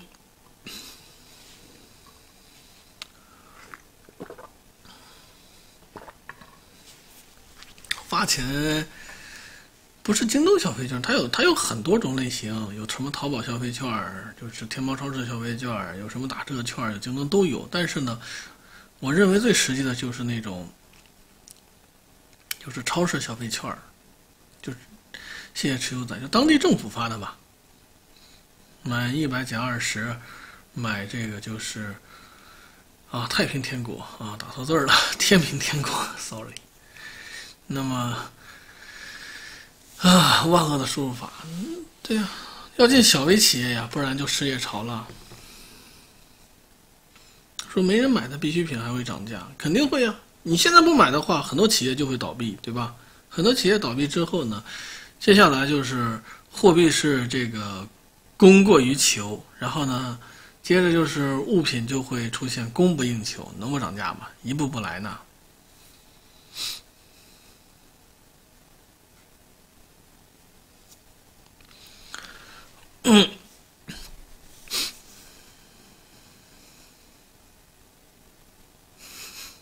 对呀，当年这个胡福就这么玩飞了的。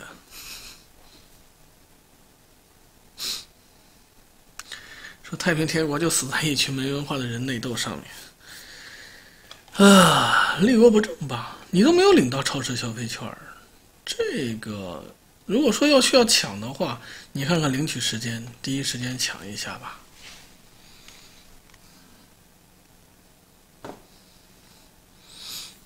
美国还在继续发吗？我猜啊，就是说在总统换届选举完了之后。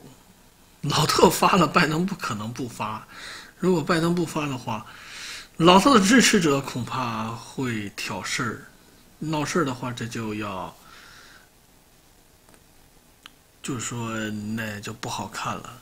因此，现在美国也是逼上梁山。唉，发的少了还不行，最起码要和以前一样。和以前一样的话。又在吹泡泡，要不我怎么说呢？美国想要解决这个问题，哎，发挥农业上的优势吧，疯狂的拉升粮价，去割其他国家韭菜，割完其他国家韭菜来疗一波伤。当然，这样一做的话，那老美应该是仇家遍天下了。谢谢小鱼仔 XR，不会玩泡泡沫啊，还有最后一招啊！还有最后一招啊，对吧？拉粮价嘛，洗衣液、牙刷、毛巾这种的，一般来说也会买吧。嗯，说报拜登还没被实锤吗？咋还不引咎辞职？翻篇了，这事儿过去了。货币得翻几倍，不是货币得翻几倍呀？说美国为什么不选个年轻点的总统？那总统候选人提名的时候，嗯，那共和那民主党提名的拜登啊，说拉升粮价，非洲这种不是完蛋了？是啊，嗯，不只是非洲，那些粮食进口国都挺头疼的。其实说白了就是拿粮价去对对冲这个，就是说，嗯，超发的货币嘛。说最近往美国出口的运价都上天了，咋啦？美国的订单多吗？谢谢 Dead Kitty，谢谢。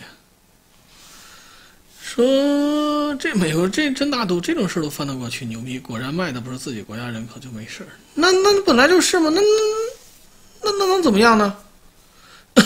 嗯 嗯。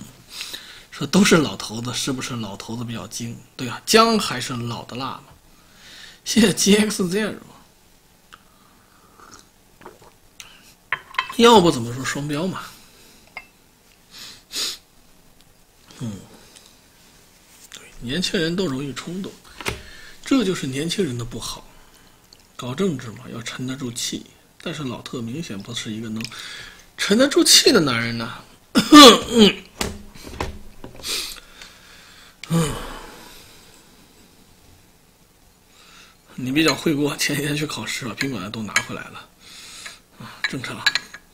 嗯，至于说老奸巨猾嘛，分人分事儿啊。老特真的想要，没错谢谢水水的吉他手，谢谢。老特怎么能跑出美国？老特不会跑出来的，往哪儿跑啊？他也就是宣传宣传，真跑俄罗斯去？哎呀，那美国的官可就大了。不过不是最近又听说嘛，在这个总统这个就是竞选的时候，美国要改规则了。以前的时候是自由辩论，现在改了，一个人说一段然后对方在另外一方呢，在不发言的时候闭麦。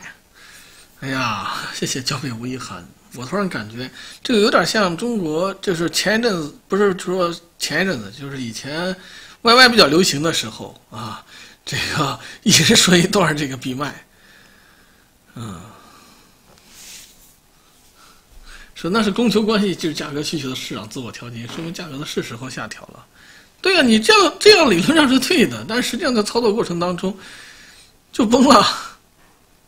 当年胡福就是这么想的。结果就玩崩了呀！他认为，只要就是说让自场市场自由调节的话，那危机就会结束。如果说市场这个流动性不够的话，我就向市场这个就是提供货币，然后本来崩的就很严重，然后接着是更严重了。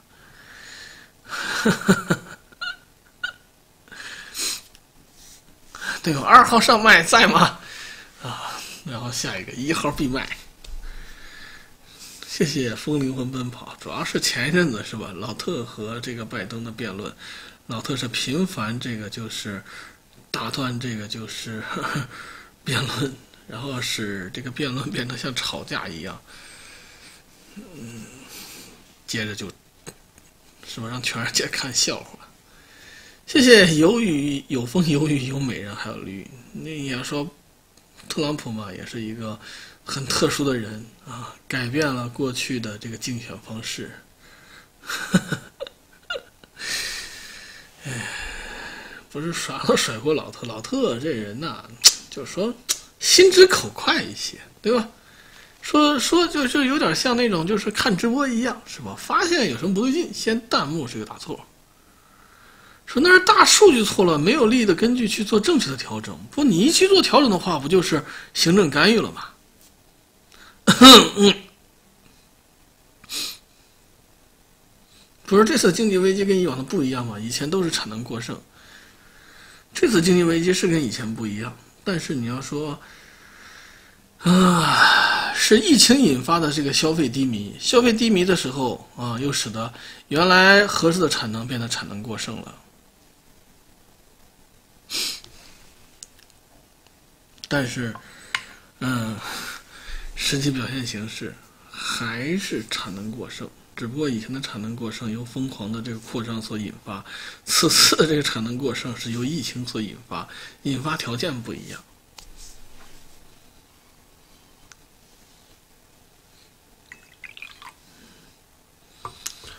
哎，只能说老特这种人呢，就是咱如果说不用这个政治家的这个。嗯，思维来看老特的话，我觉得老特这样的人挺好的，真的是挺好的，是吧？心直口快，有啥说啥，然后敢爱敢恨，这个，哎呀，做了一个普通人想这个就是而做而不能做的事情，快意恩仇嘛，对吧？尤其是在跟拜登辩论的时候，对方说的这个不合适，我根本没有必要去等对方讲完，我当场就喷他。你说那个啥？这根本没有什么。可持续性嘛，等我说完，你说完什么呀？你这点就不对，你下面接着说，这不就是普通人在聊天的时候吗？对吧？一群人聚在聚聚在一起，然后呢，一个人提出观点，然后发现不对劲，现场在这个打断，然后现场在争论，那这在普通人的生活当中啊，没有什么就是说不正常的，但是，一旦上了这个就是。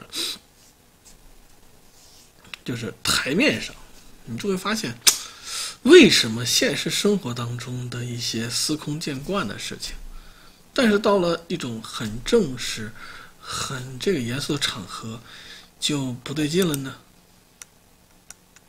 对吧？你说这种差别是，一般来说，不去想，很难觉察当中这个有什么区别，但做出来之后，好像就很诡异。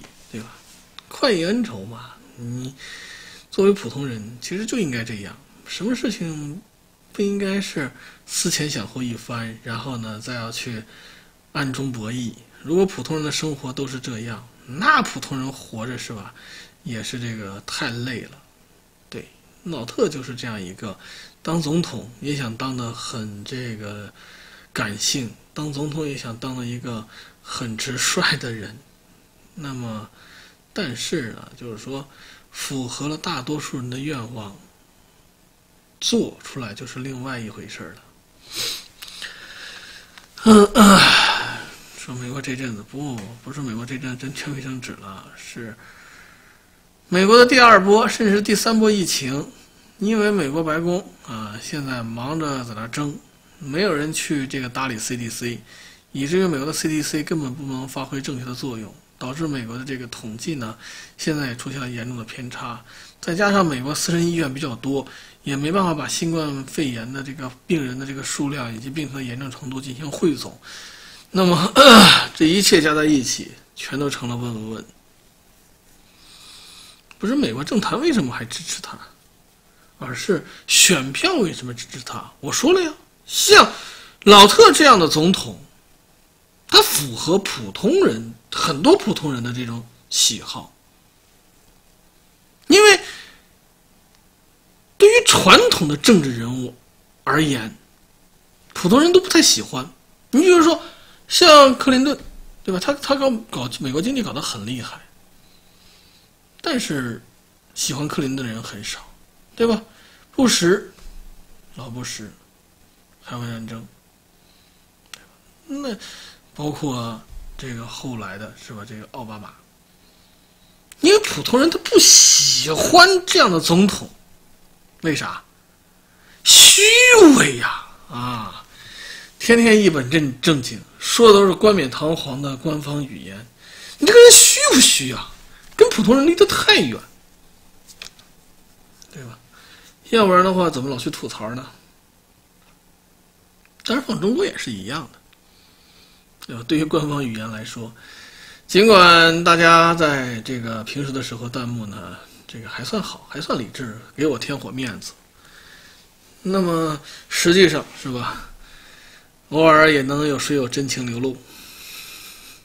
你看看说那些话，是吧？那么突然间来了老特这样啊，再加上希拉里的邮件门，使老特时也命也运也，是吧？这个就是，嗯。上来位上位了，嗯，那么在看的时候，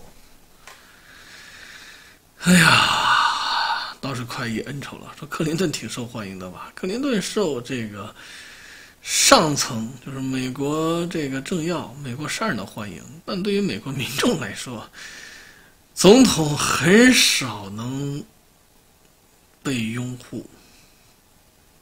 我长得像刘德华，天王摄影师黑我呢。哎，不是他政令啊！你要知道，美国的政府机构啊，他首先受到这个国会和总统的这个就是控制。那总统也是有他权利的。这克林顿的支持率算高的了吧？还好，就支持率高的话，这个，嗯。那选票的话，二选一是吧？碰到一个很不喜欢和一个比较不喜欢的，还是选那个比较不喜欢的。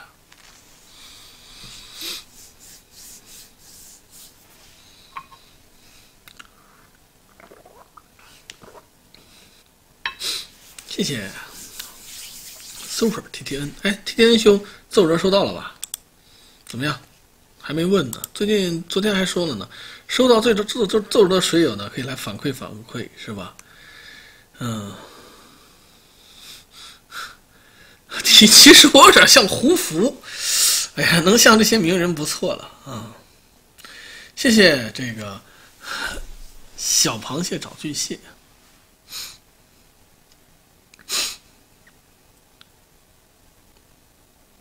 啊，不过拜登完全没有总统像，是我也选老特，哈 哈不是董卓吗？行，像洪福也好像董卓也罢，最起码都是在历史当中留下名字的人物啊。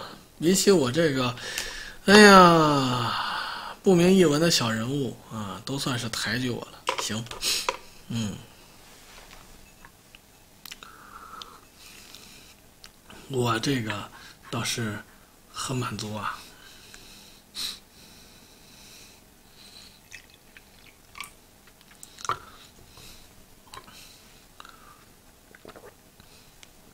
嗯，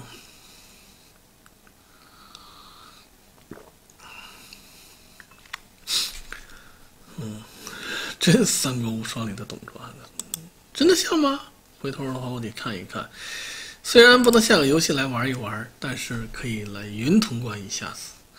谢谢你胡子扎到我蛋了，谢谢。嗯，像老坛酸菜里的那位，好，看来还能给老坛酸菜打打广告，也是不错。谢谢风味水狂。其实我已经好久好久好久好久好久好久啊，嗯，要带胡子。哎呀，你还要给我配道具吗？这《西游记》，这个还算是剩下知了知了，还算是给面子啊。要说是吧？现在能住高老庄，哎呀，那都是这个乡间别墅啊，这个仆从成群呐，活这个摆明了是吧？亿万土豪的生活。哎，说拜登是王直吗？我不知道说拜登是王直什么意思。反正拜登嘛，他就算是胜选了，摆在拜登面前的也有一个很严肃的问题：怎么样来擦屁股？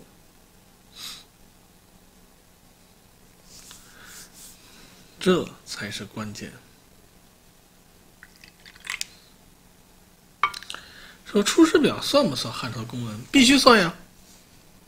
而且《出师表》呢，嗯，很，就是说，它的文风有和汉朝时期、秦汉时期所兴盛、兴起的这所流行的骈文啊，这个如出一辙啊。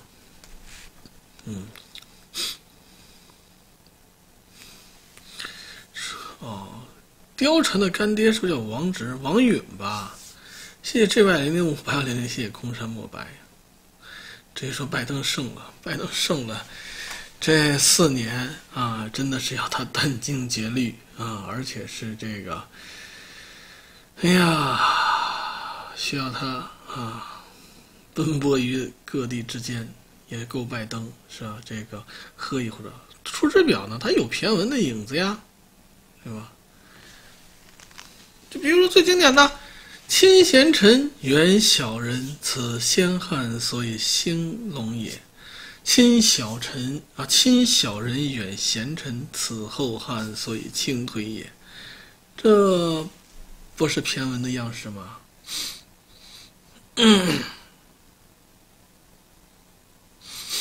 虽然说它不会像这个，就是，嗯。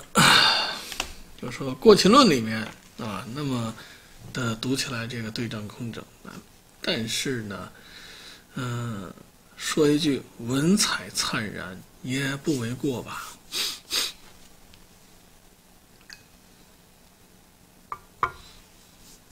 不是我懂得太多了，一点点，一点点，嗯。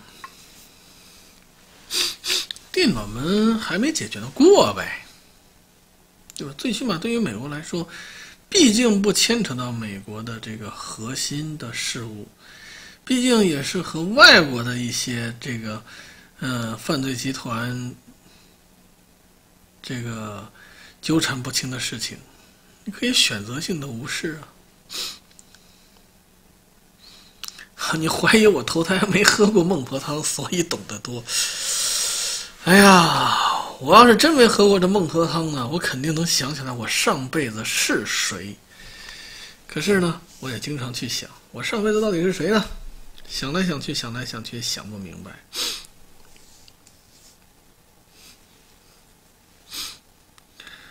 嗯，真想把我脑子里的东西做成数据库，干什么？随时咨询吗？本来诸葛亮所生活的时代就是汉朝啊，诸葛亮从来没把自己当做这个，嗯，南北朝的人物啊，或者是曹魏时期的人物啊。说你们都知道啊，董太师、董卓一般来说懂得应该不会多。董卓应该要懂得多的话，董卓不可能在洛阳表现的那么 low。谢谢 A 九二零零四三五八。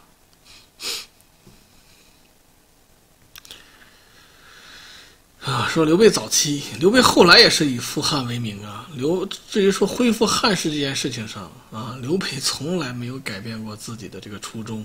那诸葛亮在这个北伐的时候啊，那五次北伐，两出祁山啊，也没有改变自己这个初衷。谢谢 A 三五二六六二零三九。只不过呢，就是说后出师表可能不是诸葛亮写的，是吧？还不是因为上辈子书读少了，这辈子我才这么啃，有道理。上辈子肯定是，啊，你说的好有道理啊！董卓书读少了，翻了车了，所以这辈子好好读。那不是董卓，如果我没记错的话，他是卒于公元这个就是一百九十二年，现在是公元二零二零年。合着我投胎，这不喝孟婆汤去投胎，投了一千八百多年呐！我这这胎啊，投的有点久。别人不都是啊？这前脚这个去世，后脚投胎吗？《聊斋》我还是这个什么看过的。嗯嗯。有人说刘备称王让孙权为难，孙权低了一等。刘备进汉中王的时候，孙权那时候，刘备进汉中王是曹丕称帝吧？曹丕称完帝，我如果没有记错的话，这不刘备称汉中王的时候应该是打败曹操吧？那么很快孙权就称吴王了吗？因为曹丕称帝了呀，大魏吴王嘛。谢谢黄绳姐。天上一日是吧？这个地上一年，我估计在黄泉路上迷路了。得嘞，黄泉路上还迷路了，没喝汤在下面都晃荡了一千年。行行行行行，谢谢 sky 幺零。对啊，刘备是先进汉中王，后来称的帝嘛。说就是没有正式用汉，用了蜀氏是为什么呢？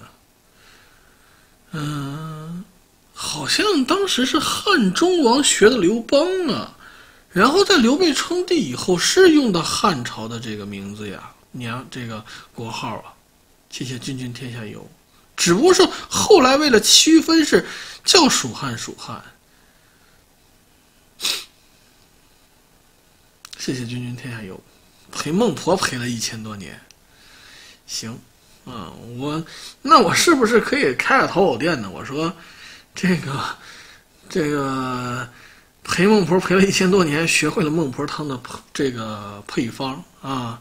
曾经有这个天王唱是吧？给他一杯忘情水，换他一夜不流泪。那我直接说，本店销售孟婆汤，喝了之后肯定是吧不流泪。那我岂不发了？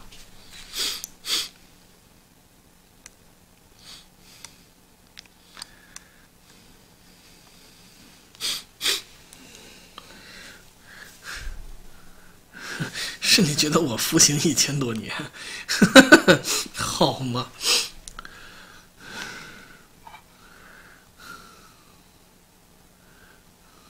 问题是喝了之后大脑格式化了，好吧？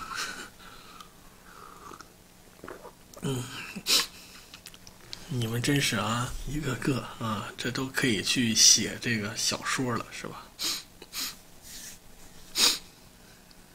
说刘备。这个想成为刘邦，当时吴国不服，吕蒙都将杀关羽。不不不，刘备刚拿下汉中之后，关羽就积极了，前后相差不过几个月的时间，不存在服不服的问题。也就是说，无论刘备到底称不称那个汉中王，关羽都死定了。原因是，谢谢落叶深蓝色。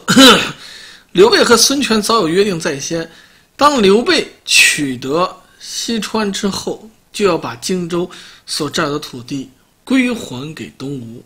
关键刘备自己也承认是借呀。刘备说：“等我拿下汉中的。”那么刘备拿下汉中之后，刘备还在赖账。那说说句不好听的，刘备这个账是吧？这个真应该赖。没有这个荆州之地，怎么图北方啊？但是赖账你得协调好这个跟孙权这的关系是吧？可以把这个定期存款变成无期存款嘛。可惜的是，关羽也是啊，性格比较直直爽，直接告诉孙权：“我这就赖账赖到底了，我不还了。”这孙权能能能忍吗？哎，那当时诸葛亮在干嘛？在帮刘备打这个，在帮刘备去管理西川呢。你要知道，刘备在汉中跟曹操决一雌雄的时候，那谁来管后勤呢？不就是诸葛亮吗？对吧？由诸葛亮在成都啊统筹全局啊，由法正随刘备。啊，从军出征啊！哎呀，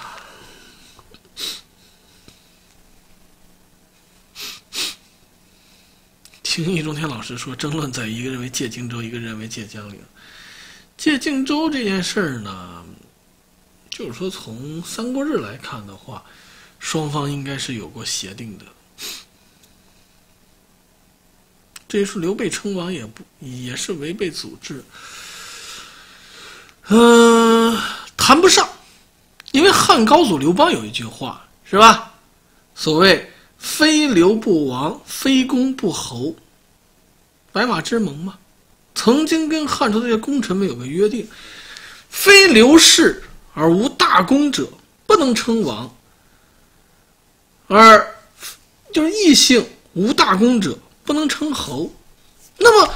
当时曹操已经被这个刘备认定为这个乱臣贼子，对吧？曹操当时有个外号“曹贼”嘛。那么，当刘备在这个汉中把曹操从汉中赶走，夺得整个汉中之后，那么也符合刘邦当年说啊：“刘姓有大功者，那可以称王。”谢谢越族说：“关羽在世时，没有几个人比他能打。”怎么说呢？关羽当时是猛将，啊，关羽、张飞皆万人敌，这也的的确确是那个时代对这二人的称呼。但是呢，关羽绝对不是这个无敌般的存在。谢谢生活从偷窥开开始。那么举个例子来说，曹操手下的大将曹仁啊，在守这个应该是守襄樊吧，樊城的时候，你看看。关羽打樊城打的有多难？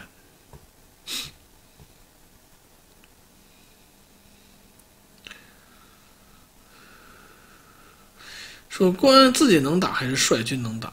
关羽是有这个将帅之才的。谢谢越族兄弟送的福袋。说曹仁差点都跑路了，可是曹仁守住了呀。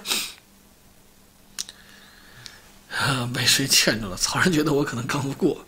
你不刚怎么能知道？那我刚刚看，刚刚看就刚刚看，结果还真刚住了。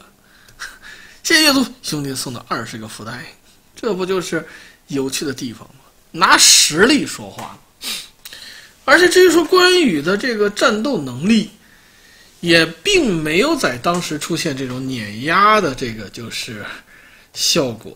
说你这话说的哪有人是无敌的呀？那人也，但是有。白起有韩信，有卫青，有霍去病这样的变态呀。说曹仁，曹仁算是演义里面被黑的武将吗？当然，曹仁那也是曹操帐下首屈一指大将啊。皇帝被架空了吗？就说关羽能打归能打，但是还没有实力，能还没到碾压的程度。就你综合来看的话，曹仁在这块儿的话，因为在荆州被突袭之前，刘备取得西川之后，曹关羽跟东吴已经起过一次冲突，那么中间也发生过小规模的这个就是军事对峙，关羽也没有占得很大的便宜嘛，对吧？那当时关羽对阵的是吕蒙，也没有。怎么样的优势嘛？谢谢临潼花妖说整个三国也没有出那个高度的将帅。是啊，你要说曹操的话，上限高，下限低，要亲命了。对，就是一线猛将，但是没有到这个就是超一线的这个过程。谢谢灵通花妖。但后面就有了呀，对吧？那往后面来说的话，当三国一结束，到了魏晋南北朝时期，不就开始这种超一线的猛将吗？而且还不止一位。谢谢佘子飞。那你说石勒算不算是能打的？后来的这个，嗯，王猛算不算是能打的？那？再往后，谢玄算不算是能打的？再往下，你像拓跋圭、慕容垂这些的，刘牢之这些的，算不算是能打的？说白起、韩信、霍去病之类，是吧？日天热地日空气的，是啊。关键有他们珠玉在前，后面就整个是 比不过呀，比不过。马龙的战，因为马龙的时期已经没有太多仗可以打了，光打个鲜卑。那要是说马龙的话，那魏冠又该怎么说呢？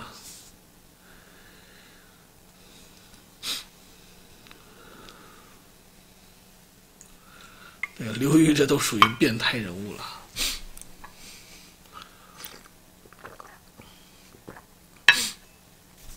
好那么我们开始讲今天的清史。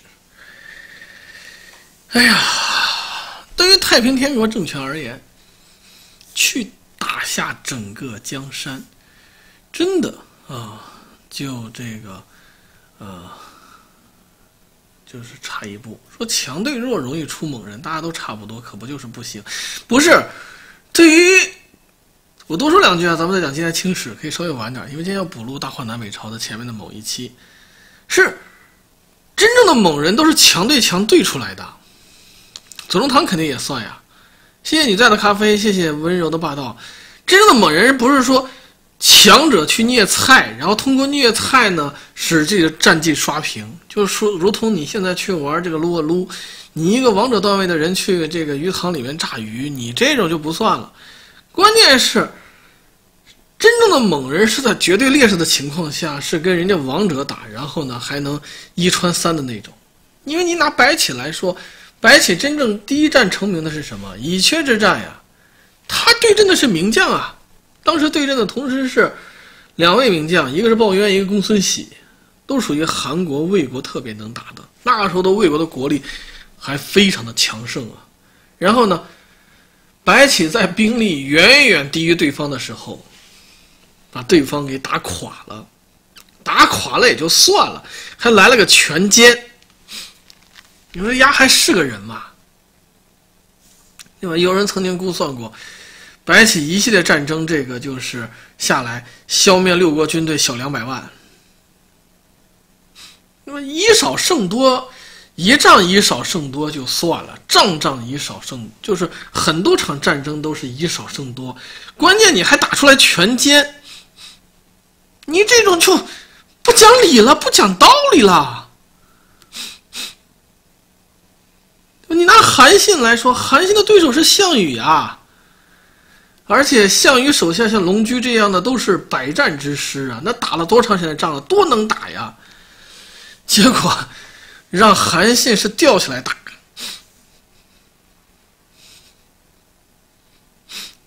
打不过。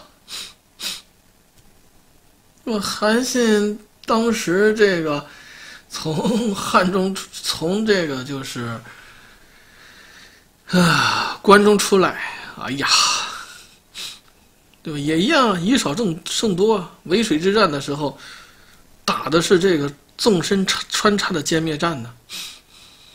关键对手也很变态，都被他给狙了，对吧？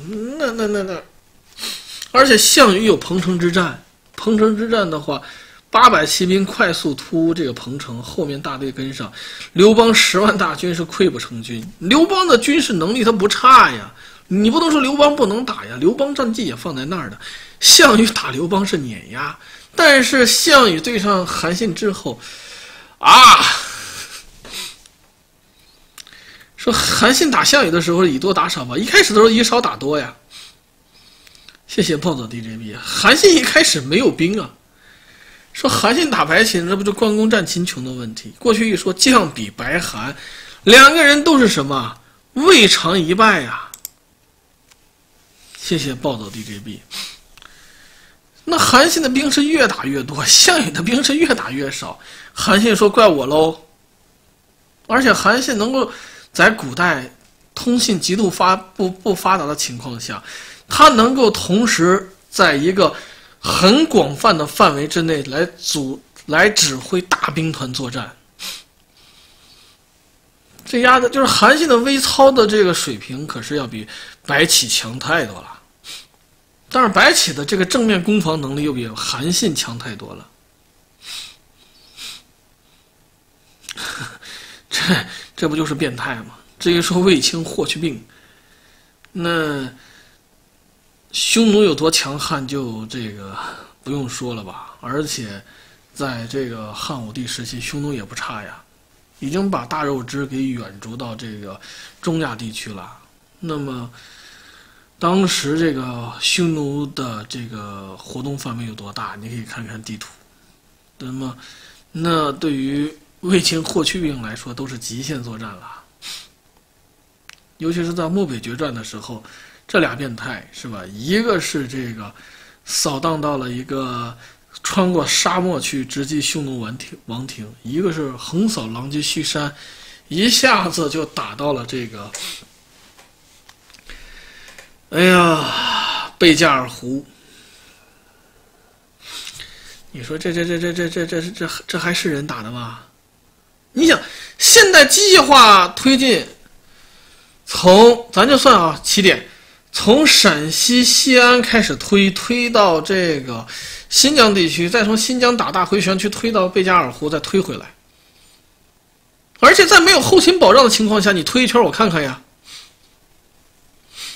你想霍去病当年这么打的时候，带着五万骑兵，在没有任何这个后勤保航保障的情况下，在没有卫星 GPS 的这个情况下，就敢兜这么大圈子。当时霍去病只有二十来岁，二十岁刚刚出头，阿是嫣然嘛，就狼藉胥山呀，那不就都已经快到新，都已经到新疆了呀？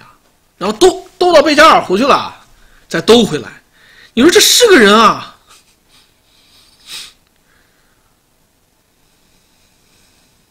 没后勤呀，有有一点都没后勤呀。霍去病打仗就不要后勤呢，他这他打的是他从河西走廊进进军的，然后兜到那边去了，兜了个大圈子，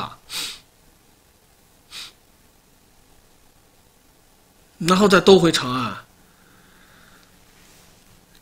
那那那那，你得想想当时的霍去病的出击方向啊。你用我们现在人来看的话。在那个农耕文明时期，你是牲口啊！你这仗怎么打的？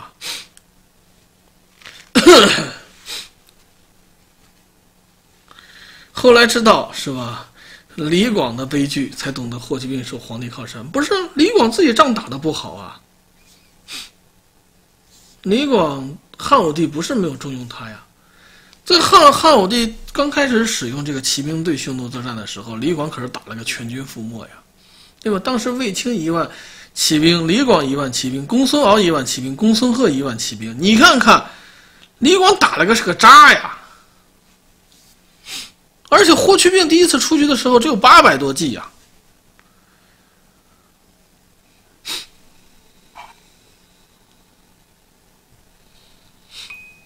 嗯嗯。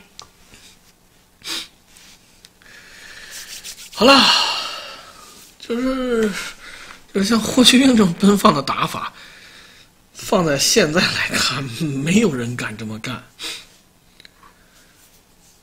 不是你太吓人了，这种战法，霍去病就是要么全军覆没，要么就得胜归来。老子不但敢拼命，老子敢莽，整支军队都敢莽起来。你请问哪一个统帅有这样的魄力？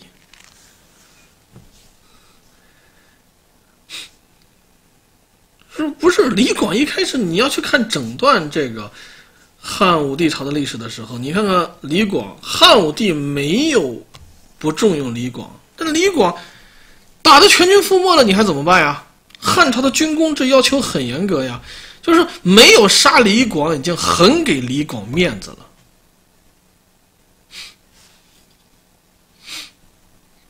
那你看李广他都不敢打穿插呀。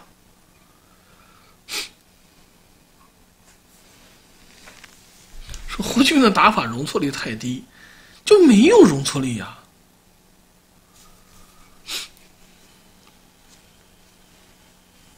李广就是硬拼硬，硬碰硬，不打穿插。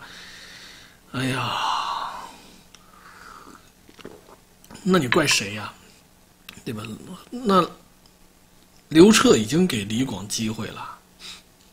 那李呃那个霍去卫青就敢去打龙城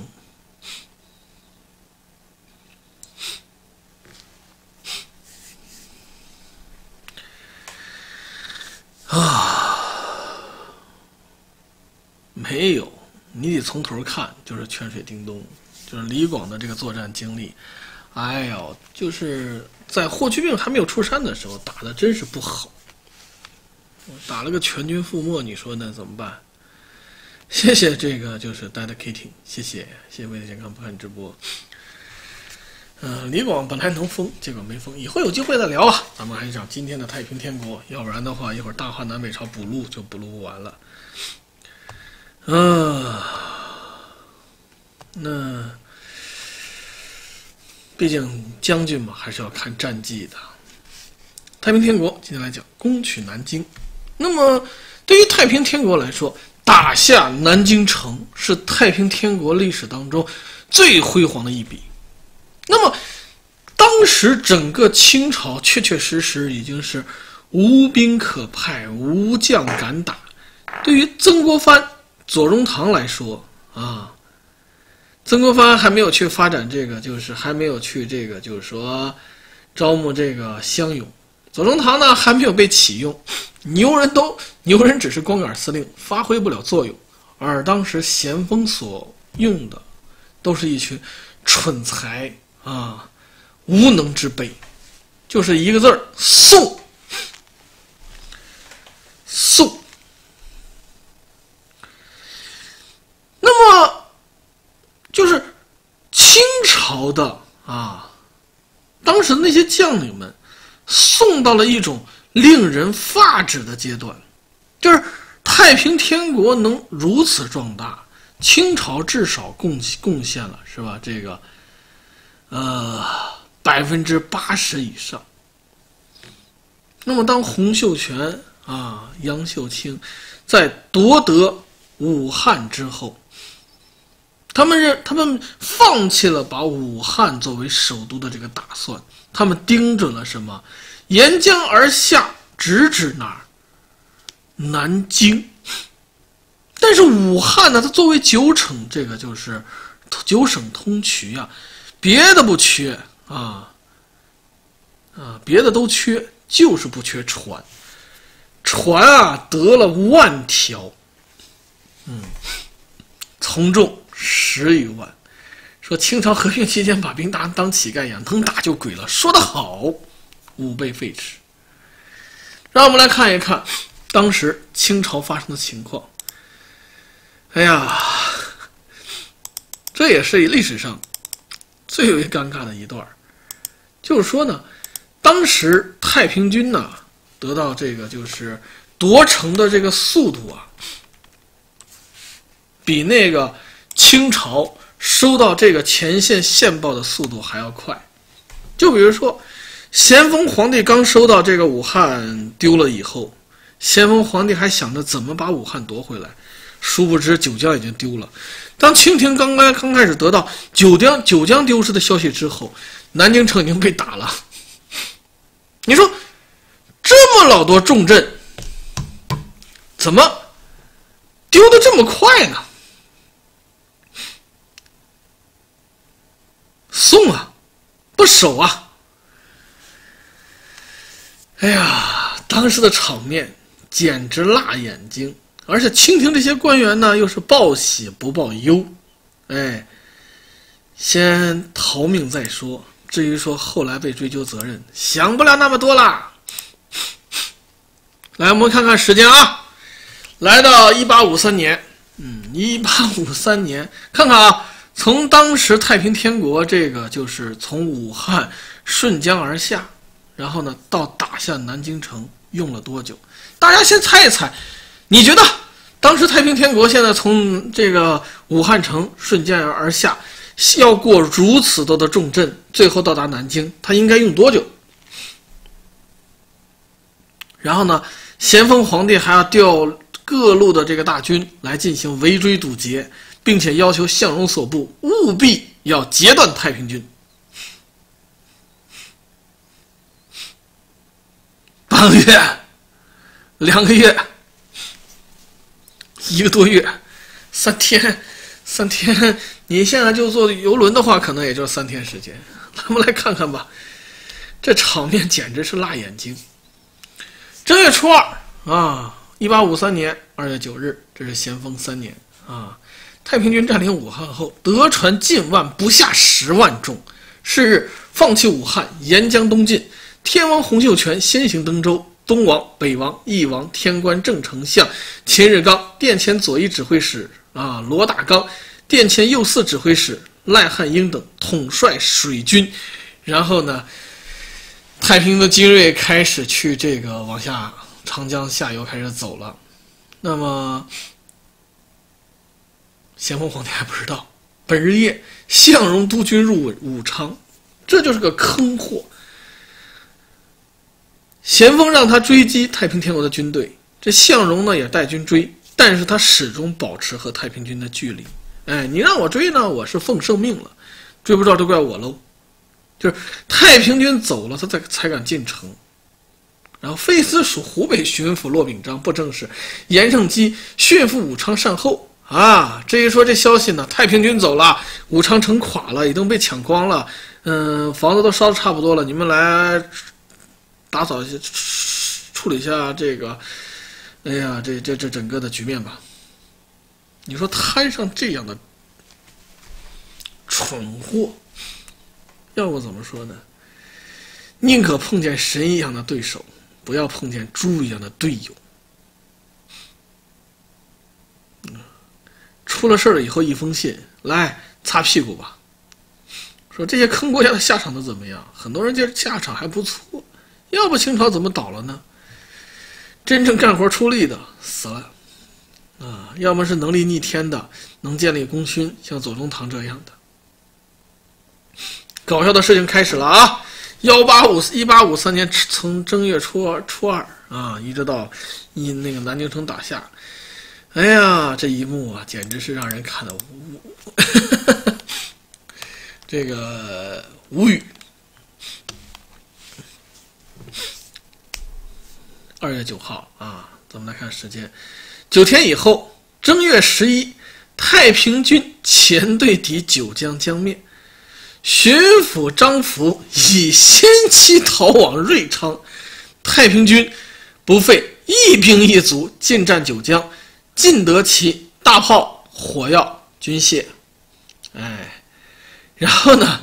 本日向荣、何春、秦定三、李瑞、玉山等自瑞昌抵九江攻关牌峡，拟后船渡江，东援安庆，暂留九江城外屯扎。根本就不敢跟太平军交战，然后这个时候啊，张亮基又被临时指派赴湖北署总督任，去当湖北总督吧。左宗棠就跟上了，江中原随行。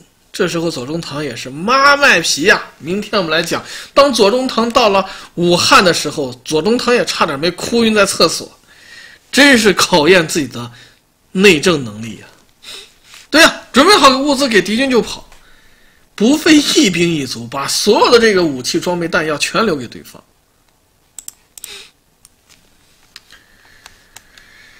哎呀，正月十七，看吧，二月二十四号，时间啊，二月十八号啊，二月二十四号，到达安徽省城啊，安庆那会儿还不是这个合肥呢，六天以后，看着啊，时间。快不快啊？九天以后打打下九江，拿下九江，捡了九江。六天以后呢，到达安庆，然后太平军进攻安庆，总兵王鹏飞等三千守兵，一闻炮声，即开北门远逃桐城。不正使李本人借互享为名逃走舒城，宛府蒋文庆自杀。太平军随即占领安庆，尽得库藏军械粮食。一个省的省会呀，对吧？三千守军听太平军一放炮，开开门就跑。不正是说我要去保护粮饷，去舒城了？巡抚蒋文庆还不知道怎么回事，这太平军都就来了，自杀吧？容易吧？看，从来没有这么容易的这个攻坚，这个攻防战。简城池，当时太平天国就顺成这个样子，为什么能骄傲能膨胀？所有的城池属于几乎快是简的了。你说你这，对吧？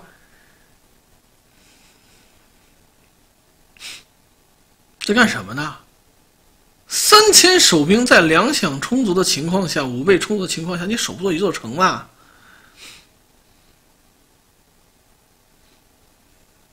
省会丢了，那必须要派兵，这个就是这个救援啊。当时呢，救援的军军指挥官一个叫做陆建营的人说：“沿江防撤，把兵撤回梁山。是夜半，丢下军队，人跑了，只身逃回南京。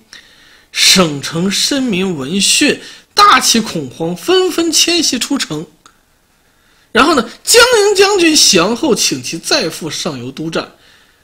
哎，他好避居都署，三日不见同僚。这就是咸丰皇帝所信任的忠臣良将。仗还没开打，统帅丢下军队跑了，跑回到南京城的官署当中，三日不见同僚。太平军当时是顺江而下，这个军情如火呀。这位倒学起鸵鸟来了。鸵鸟说实在的，也不会把脑袋钻到沙子里头，只是比喻他可真干了这样的事情，能干得出来这样的活儿。那么要怎么说呢？摊上一个无能的官员呀，把老百姓就坑坑苦了呀。老百姓一看，这这这这这这都这样了，只好是抛家舍业呀。丢下军队跑回南京城，然后下面属下劝他赶紧带人去督战，他可倒好，府衙门一关，三天不见同僚，咋了？太平军不会来是吧？这这他妈都是些什么玩意儿？所以我说呀，啊，吏治是头等大事。有人要黑清朝的话。其实我今天讲的这些拿来黑最好了，哎，动不动就说清朝这不行，清朝那不行，努尔哈赤怎么样？哎，别别别别别别别别别，要黑黑这些啊！讲讲陆建营的故事是吧？弃放弃整个兵营，主帅逃回南京城，然后呢也不也不出来解决问题，躲在这个府衙里面躲了三天，呵呵，不闻不问啊！大炮刚响。这个总兵也就相当于一个，哎呀，军区副司令员 是吧？开门就跑了，对吧？开开城门一跑，对方都看愣了，送了。要黑从这儿黑。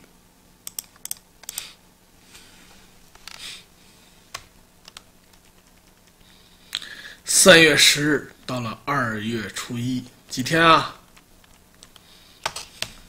到达南京城下了，从武汉到南京啊，是？把这些人列出来啊，拿来黑清朝最好了。从武汉到南京用了几天啊？大家可以算一算。从武汉到南京。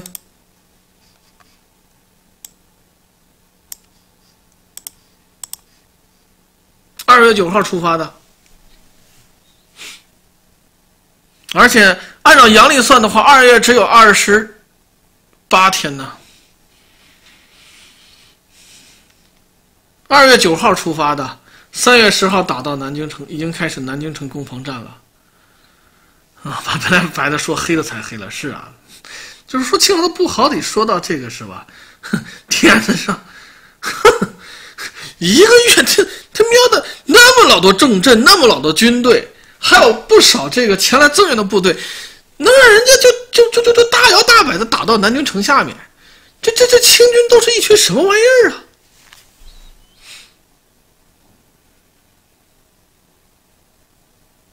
这哪是哪里叫什么叫兵？这就这就已经不是兵败如山倒了，这叫一触不触即溃，都不是一触即溃，还没看到人呢，自己先跑了。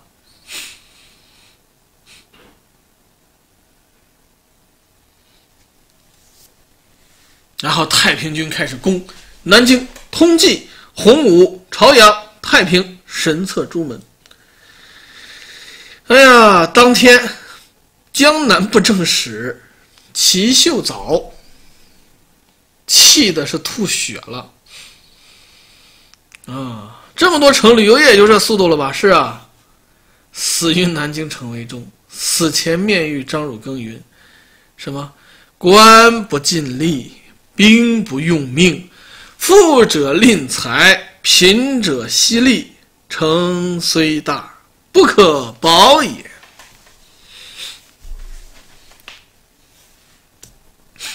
”这就叫闻风丧。你说这句话说的实在吧？官不尽力，官员没一个靠谱的；兵不用命，没一个比当兵的敢拼命的。有钱的人舍不得花钱，穷人不舍不得出力，还守个毛线呀？城虽大，不可保也。这时候已经没有八旗兵，已经不能用了，垮了。你说坚固的城防有用吗？啊，招募再多的士兵有用吗？一座一座城池再有钱有用吗？一个城池再有老百姓有用吗？没有组织者，什么都白搭。这下能看得出来左宗棠有多厉害了吧？左宗棠守个小城长沙，怎么能当时的长沙怎么可能跟南京比呢？都能，哎呀，逼毁掉这个萧朝贵，逼退杨秀清和这个就是洪秀全、石达开。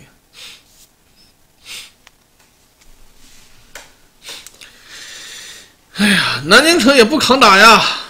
初十，也就是十天以后啊，九天以后要算的话，当天得算。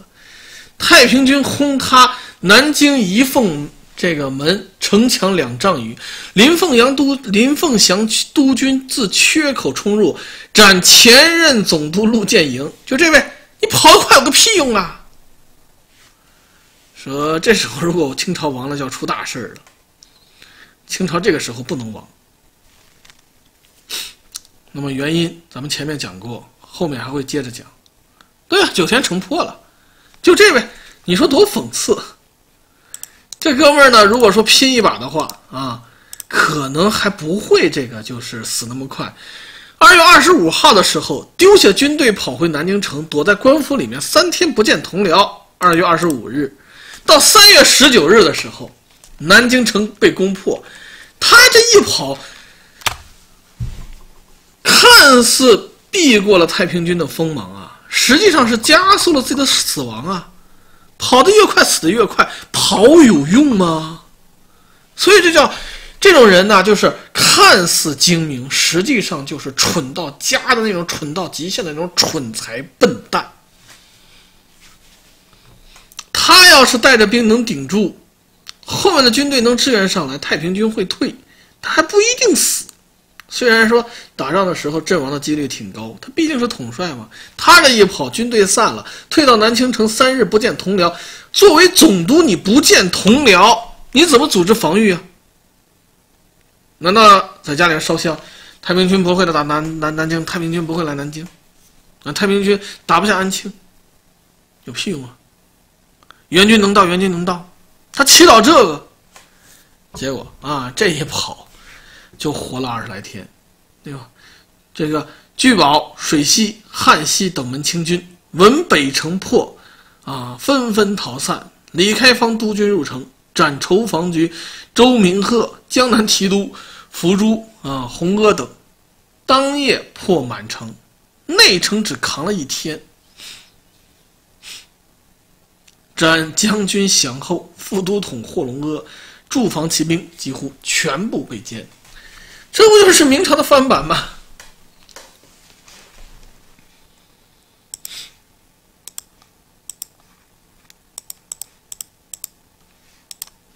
是不是很无语啊？哼，战斗力是吧？对。这类人，这种类型的人突太多了。没事的时候耍威风，和平的时候呢，看的是这有本事那有本事。一旦有事的时候呢，装鸵鸟，坑自己不说，还把别人都坑惨了。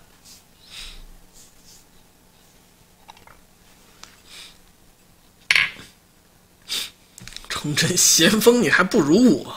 对呀，咸丰如果没他老婆，啊，慈禧。哎呦，完蛋了！还好咸丰在这个时候知道重用左宗棠，而不重用林则徐，不是重用曾国藩，让曾国藩放开手脚去湖南募兵。就在这一刻，曾国藩已经到达湖湖南，那么曾国藩开始是招兵买马。曾国藩就分析到一个问题：清军之所以溃败如此之快，就像刚才那位布政所所所说的啊。当兵的啊，这个当官的这个就是，呃，哎呀，惜命啊！当官的爱财，当兵的惜命。富者呢，就是抠门穷者不出力。曾国藩为了解决这个问题，他采用是什么？靠这个中国传统的这种家族观念。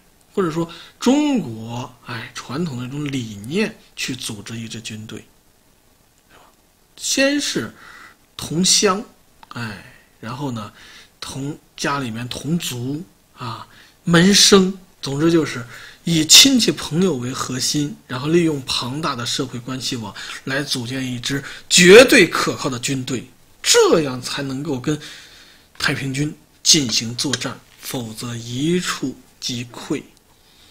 他跟戚继光也不太一样。当时戚继光是前往这个，就是，哎呀，义乌这个地方募兵。这些专业二奶，就是曾国藩的思路是对的。首先，你要对抗太平天国的话，你必须要有一支不可能一触即溃的军队，也要对，也要招募一支不可能被太平军策反的军队。这这套东西，二战日本也在用了。只能说曾国藩的思路完全对，但是曾国藩的将统帅之才可是差远喽。不善战，碰到石达开，让石达开打的妈都快不认识了，气得自己都要跳河。所以怎么说呢？人呢，这个大局观要好，具体的能力也要强悍。像左宗棠这样的变态，实在是太少了。好。新来室友没点播关注，点播关注，觉得主播间不错的，咱小礼物走上一波吧。我也歇会儿，怎么样？清朝听起来是吧，也过瘾吧？他不是没研究过军事，学的不精。嗯，跳了两次河 啊，都被拦住了。谢谢杨红丁，谢谢。好，我去趟卫生间，一会儿回来，接着聊。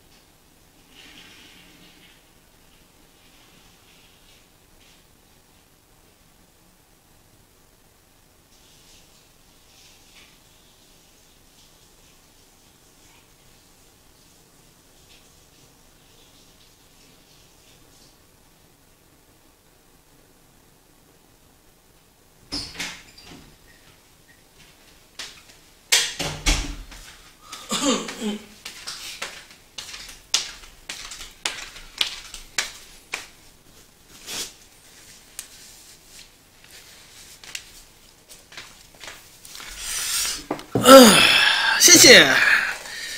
其实啊，对于太平天国来说，啊，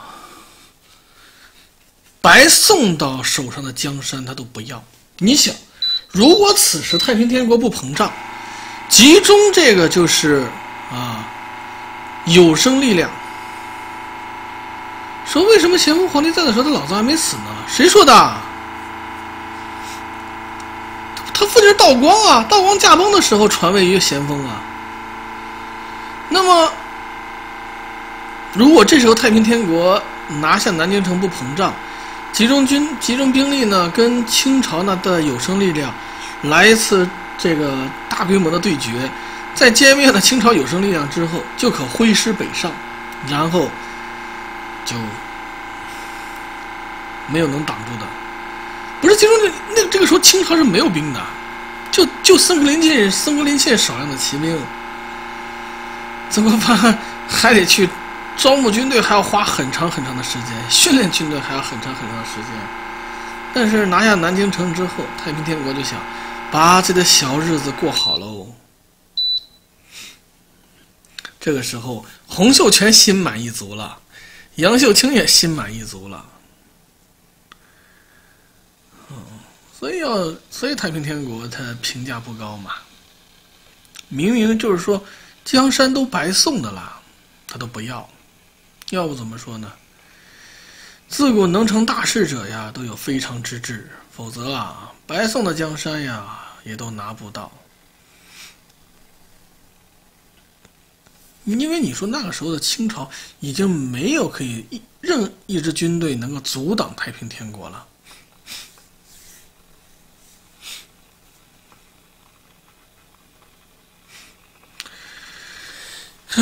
有机会享乐了，先享受一番。对呀，划江而治嘛，就这点出息，所以他会失败。关键是腐化的太快了。拿下南京城之后，哎呀，疯狂的掠夺资财产，然后疯狂的娶老婆，这大概就是太平天国的悲哀吧。膨胀。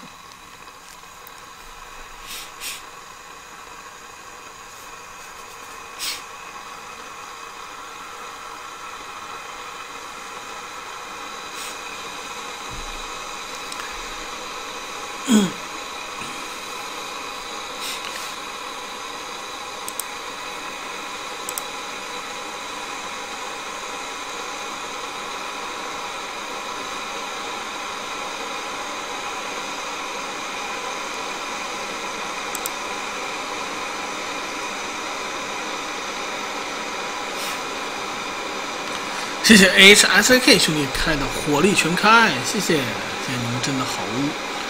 来，大家混混弹幕吧。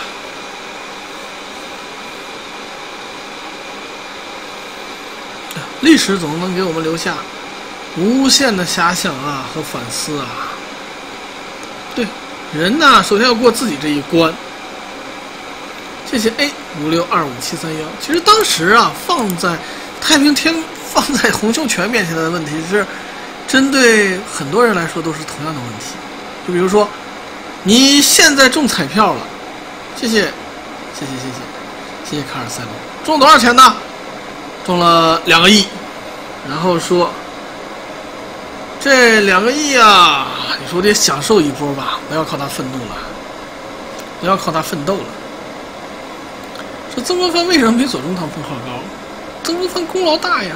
毕竟曾国藩是湘军统帅啊，左宗棠要说的话也只是曾国藩麾下的将领啊，哪有麾下将领比统帅这个封号高的呢？那么毕竟平定太平天国，曾国藩可是首要功臣，一般人是没办法的。说的对呀，游戏。机器人竟然这不来了吗？谁说没来呢？来了很多喽，只是好像现在鱼丸机器人没有这个以前那么多了。以前都是密集的刷屏。谢谢半山闲人，谢谢。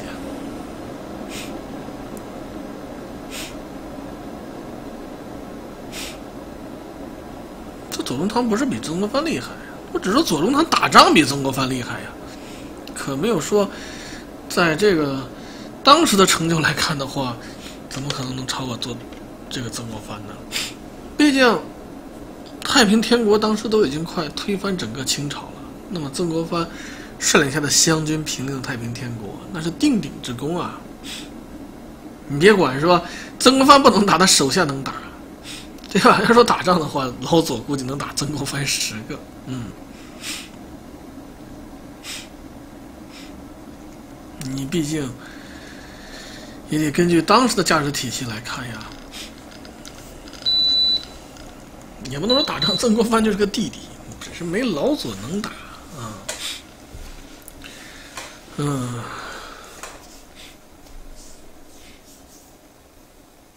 而且曾左宗棠的这个战斗能力是体现在收复新疆上面，但是你想，收复新疆和打下半壁江山，哪个意义重大呀？肯定是让整个江南恢复意义重大。但是你要说哪个难度高呢？肯定是收复新疆难度高。但论功行赏，什么是功啊？对吧？不能说是因为难度高啊就是功，还得要看。战略意义和实际价值嘛。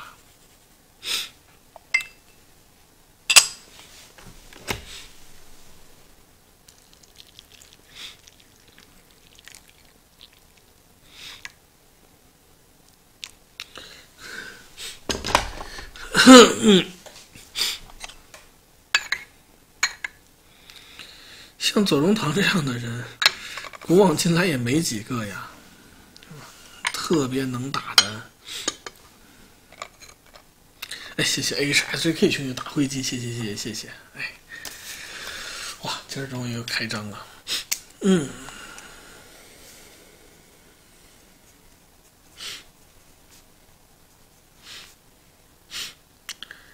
说道光皇帝活了六十五岁呢，一八五零才死，对呀，没有问题啊。然后你要知道，当咸丰皇帝继位的时候，他是。在没有翻过这一年，他是没办法使用这个就是新的帝号的，就是使用咸丰这个帝号的，还会用这个就是说道光这个帝号，这没有问题啊。你要说咸丰皇帝怎么继位的时候，道光皇帝还没死？因为咸丰继位的时候是道光年间呀，这就跟嗯，你比如说雍正，他指这个就是。活了十这个只执政了这个十三年嘛？为什么在乾隆即位的时候用的年号还是雍正十三年？但并不意味着这个咸丰当上皇帝以后，道光还没死啊。这个，嗯，我如果没记错的话，道光应该是死在大正月了。嗯。说体美育进考试要固化阶层分流蓝领吗？不会呀，你就是固化阶层这个东西呢，它从来都是一个伪概念，因为你在，除非就是说什么东西能这个就是，呃，就是说固化阶层呢，就是用血统或者用出身去锁定身份，就像在中国的这个。商夏商周时代的时候，啊，这个天子，然后是这个诸侯、士大夫，说龙生龙，凤生凤，老老鼠的孩子会打洞。然后到了这个，嗯，秦汉时期到唐早期的时候，看出身，你这种是有阶层固化的，你出身就决定了一个人的这个成就了。但是你说现在阶层固化，只不过就是说，在中国过去三十年的时间里面，还咱们把时间缩到一九八零年，请问一九八零年中国有有钱人吗？对吧？大家都一样，所以在大家都一样的时候，当中国开始去改革开放的时候，机会对于每个人来说都是均等的。那么这也是一个。社会财富迅速增增长，然后呢，增长的幅度会有天壤之别的时期。有的人一年能赚一百万、一千万，甚至一个亿；有的人一年呢就能赚个，从这个一年赚几千块到几万块，到现在十万以内。那么量变引起质变，时间久了就会发生变化。那么到了今天这种格局之下，以后就只要你要说以后就有了，除非以后血统还能再度回归，就是龙生龙，凤生凤。就是通过你的姓氏，通过你的出身，就决定你的社会地位。那，你可以到那个时候可以说是阶级固化。但我觉得，今天的中国不具备这样的基础。至于说，呃，普通人想这个成为一个有钱人，或者说普通人想拥有非常惊人的这个财富，难度非常大，是一定的。原因是。在财富不断积累的过程当中，你要发力，你要去迈入那一个很高的阶层，你需要去把你父亲的欠账补了，你需要去把把你祖父的欠账补了，要让一代人去做三代人的事情，难度不可谓不高。原因是，这些人的祖父父亲是在从一九八零年到二零二零年这四十年的时间里面是快速的积累财富。那么，想要去解决做到这样的事儿，非常之人当成就非常之事。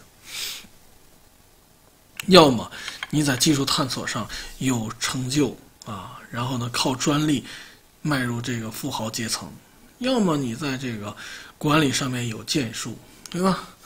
像左宗棠一样变态，那谁也拦不住你发家致富。但是有一点你要明确，普通人。如果一下子跃迁到一个很高的阶层，这不违反了社会的常识吗？谢谢螳螂萨马，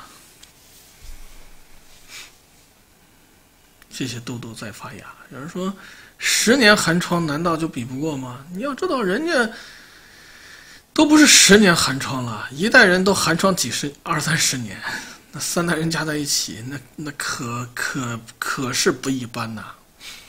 对吧？人家还有这个积蓄啊！谢谢鱼丸粗面，谢谢 L A U M G S。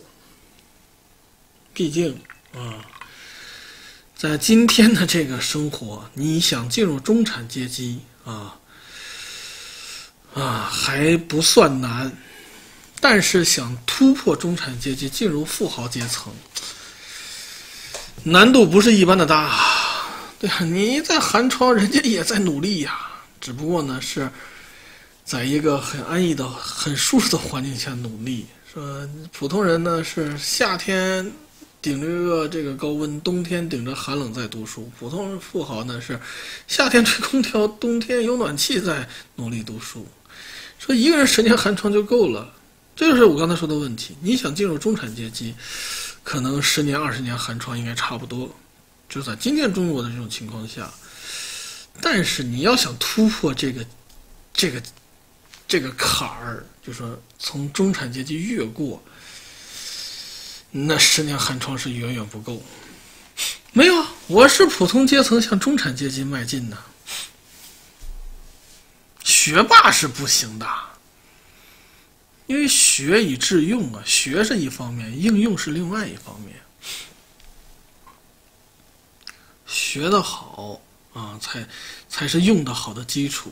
但是，一一千个学得好的人里面，有一个能用得好的就不错了。谢谢冷暖谁知他？对呀，读书只是一个什么基础？说学霸应用都不差的，嗯。说一个这个简单的，对吧？我敏感一点儿，说完了以后，咱们来聊这个。我今天来补这个，就是说，大换南北朝。给给我几分钟时间，咱二十五开始。我说一个这个就是很现实的问题。你比如说，成都大学那位书记，他是不是个学霸呢？那是，对吧？你看他履历，真的是学习能力真的很强，考试成绩很突出。但是你看看啊。金童，学校里面让他校长给逼的，但你要话又说回来了，如果换个袁世凯过去，哼哼，请问跪下来的人是谁？如果说那位把学的东西能应用，能变成一个袁世凯那样的人物，跪下来的是谁？谢谢人生风景秀丽。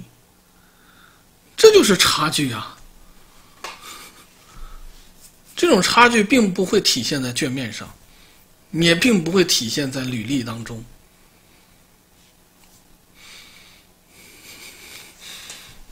要说又是朱温的话，也一样，对吧？就是双商都很高，手段很这个毒辣，手段就是很有手腕的人。到哪里都很厉害呀！袁大头过去还指不定谁逼谁呢。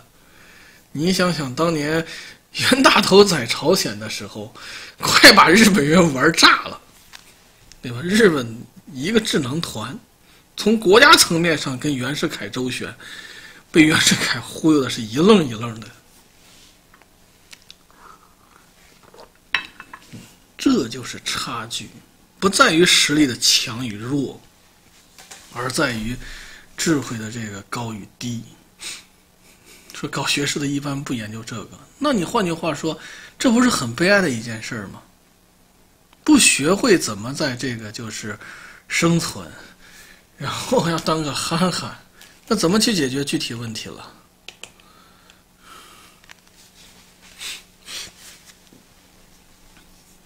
没有啊。说的那个成功的事儿嘛，这就是人。那直播间给大家讲的这些是吧？其实就说了，对于一些非常规的问问题，你只能用非常手段去解决。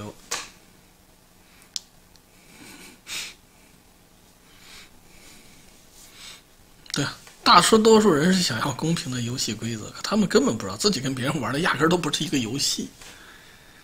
对呀，怎么做事，怎么去分析大局，怎么去猜透对方的心理？换句话说，对方的一举一动都在你的计算当中。你可以根据他的计，他的这种举举动和他的这种行为提前设伏，这就很可怕了。那么你换句话说，咱们在讲小课堂的时候，是吧？王洪旭怎么告他老爸的黑状？那告状的水平不是一般的高啊！谢谢胖子三二兄弟送的办卡。他说：“ 挪挪威新冠发现新变种了，这不是大力提倡群体免疫的国家吗？再看，是吧？换个张居正之类的人过去，死都不知道怎么死的，活活的被玩死了。说动物铁索横江，横又不能横整个长江，只能横一段，有用吗？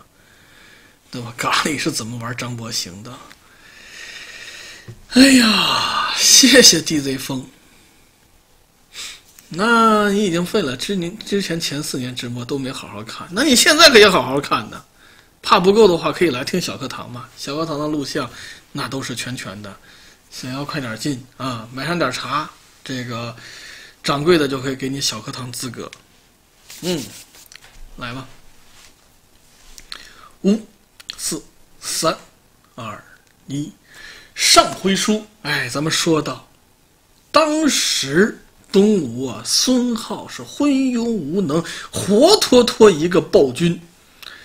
那对于西晋来说，就有吞并东吴、实现一统天下的机会。可是呢，当时啊，贾充啊，总是不愿意哎做这样一件事儿。为什么？因为从曹操时代开始，多番对东吴啊这个用兵，哎呀，每次都是铩羽而归呀。曹操赤壁之战败的那个惨，哎呦，再想想后来曹丕江陵之战，哎，哎呦，再想想后来曹休去在陆逊手下。啊，差点全军覆没，一想是往事不堪回首啊！但话又说回来了，那个时候东吴的君主是谁？那个时候东吴的将领又是谁？现在的东吴早就已经无复当年之勇。可是呢，贾充就是有心理障碍了。一旦朝堂上有人提出要对东吴用兵，贾充第一个站举起手来，我反对。仗着自己得到司马家的信任，哎。很多人是看在眼里，急在心里呀！大好机会就这样错过，那不就是老天送的江山不要，天都不容啊！这时候，武库杜预和名士张华两个人在撮合啊，想办法，怎么样让皇帝司马炎做出这个决定？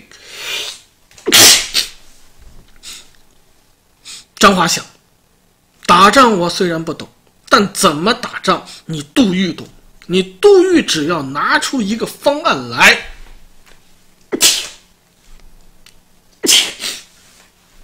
我肯定能够想办法让陛下去同意这个方案。杜预说：“这好办呀，张兄，你也瞧好吧。我现在就把大体方略给你拿过来，你看看。”东吴长江水道漫长，说是有重兵防守防守，那么其实兵力就在有限的几个点儿，而且是一处一旦被攻破，其他的都没办法进行协同作战。我们与打一点就过去了。好，你给我大体方略，明天我就进攻。这张华呢？想到了什么方式啊？哎，让司马炎同意，不能直接去说，因为有贾充在那儿杵着呢。稍微一提，皇帝还没怎么想，先让贾充给驳回了。哎，今天呢，这事这么办，找司马炎下棋。哎，当时啊，哎，晋朝特别流行下围棋，而且呢，也希这下棋呀，也被称之为手谈。两个人呢，在下棋博弈的过程当中，去摸透对方的心思。这张华呀，是此中高手。他呢，就想通过下棋给司马炎营造出一种想赢但又赢不了，差点决心，只要下了决心，马上就能赢。哎，你说这套路啊！这一天啊，下了早朝，司张华说：“陛下今天可有雅兴否？”司马炎开心啊，哈哈，什么事啊？陛下，臣斗胆想跟陛下切磋一番。哎呀，张华呀，啊，朕早就好想，早就想找你切磋了。都说你棋艺好，哎，这择日不如撞日，今天没什么事儿，来朕宫里，咱们好好下上一番。哎，两人支起棋摊子呀，你一个子儿，我一个子儿，你一个子儿，我一个子儿。哎，张华厉害，不但知道怎么下赢司马炎，还能哎知道司马炎怎么落子儿。他要的不是赢，专门让司马炎纠结。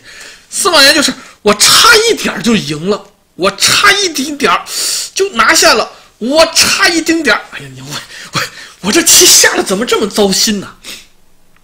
张华看到这机会啊到了，哦，陛下，是否觉得此棋局如同朝局呀？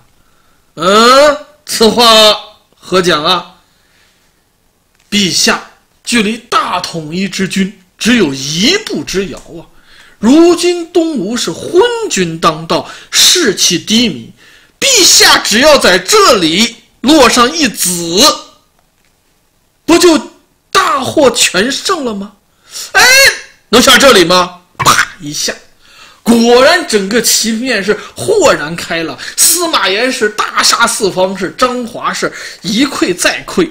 张华输了棋，赢了心；司马炎是赢了棋，也坚定了心里。对呀，每次一说打东吴的时候，就有人反对，这就是阻挠朕落子的人。朕意已决。但是张爱卿啊，这仗该怎么打呀？哦，陛下，武库杜预已经给朕方略了。陛下您请过目。张华二话不说，就把杜预制定的方略，哎。拿给司马炎看，司马炎一看呢，哎呀，这方略真是说的啊，头头是道。关键是把东吴的兵力部署、将帅情况是写的一清二楚，也把己方的优势说的是明明白白。好，阵意已决，这就克发兵攻打东吴。第二天一上朝啊，马炎决定发兵攻打东吴，他也需要一个可靠的人去，哎，带领这支大军。他想的是谁呢？贾充。贾充啊，还是那样，有心理障碍吗？总想着自己不如曹操，就算给曹操曹操的兵，自己也拿不下东吴，他也不想想对手也不是孙孙权呢。当时司马懿说：“贾爱卿，朕有啊要重任啊托付于你，哦，臣将赴汤蹈火，在所不辞。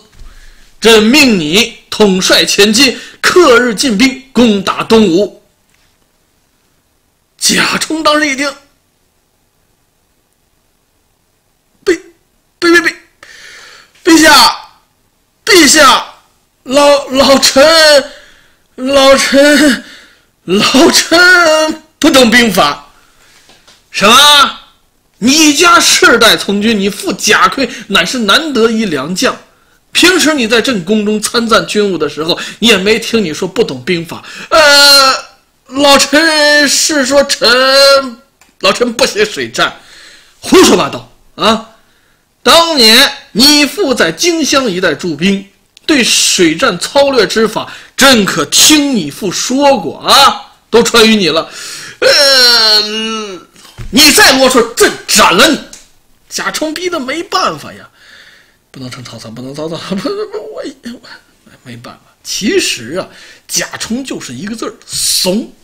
他要是真是明白局势的话，他也知道这仗就是白送。杜预都已经计划的是如此完备了，怎么可能会输呢？啊，不但是飞龙起点，而且是微操到位呀！哎，当晋军全线调动的消息传到江东之后，结果东吴的国主孙皓呀，还在犯一个错误，他总认为。也还就是老一套啊，学当年曹操嘛，要么从这个荆州进兵，要么从合肥进兵啊，只要守住这两口，哎，他能怎么样呢？那么当时东吴的孙皓啊，就在手下人的建议下，筑起了一道特殊的长江防线，所谓铁索横江啊，哎，什么叫铁索横江啊？是在这江面之上，靠近东吴一面。准备上一些哎木筏，固定在江面上，然后呢，木筏和木筏之之间啊有铁索相连。如果发现西晋的大军开始过江的时候，然后用脚架啊把这铁索拉起来，那么铁索就会凿穿船底呀，这西晋的士兵啊就会落入水中，这不就守住了吗？需要千军万马吗？你真是个机灵鬼！要知道，你铁索虽然能拦住大船，但是你拉动铁索这些设施可都是什么？哎，木头做的呀，在这江面之上，你这些木头是漂浮在水上，人家给你点了呢。杜玉当时一看出东吴摆着铁索横江之计。杜玉当时哈哈大笑，哈哈哈，都本来想着还费点功夫跟你打斗一番，你你你你你你是想靠这些破烂玩意儿来拦住我的大军呢？别逗了，来人放火，别客气了啊！杜玉也是一样。用一些木筏装上引火之物，然后让这些木筏顺流而下。等东吴把这铁索拉起来的时候，这一面放火箭点燃木筏上引火之物，这下嚯，全烧了。这一烧不要紧啊，铁索没了，这些木头的连接件全都沉到江底。对面士兵一看，坏了，没人，快跑啊！杜预呢，大手一挥，过江。数支军队浩浩荡荡地渡过了长江，而长江这些守备的城池是一个一个的向西晋投投降。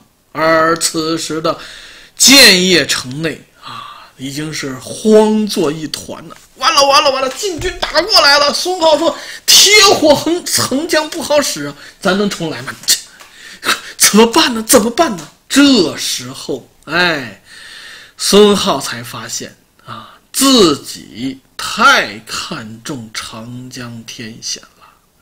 那欲知后事如何，我们下回再说。哎呀！刚才有室友问了，说怎么又讲起这来了？是这不录这个？现在不是开始要放这个大话南北朝的录像了吗？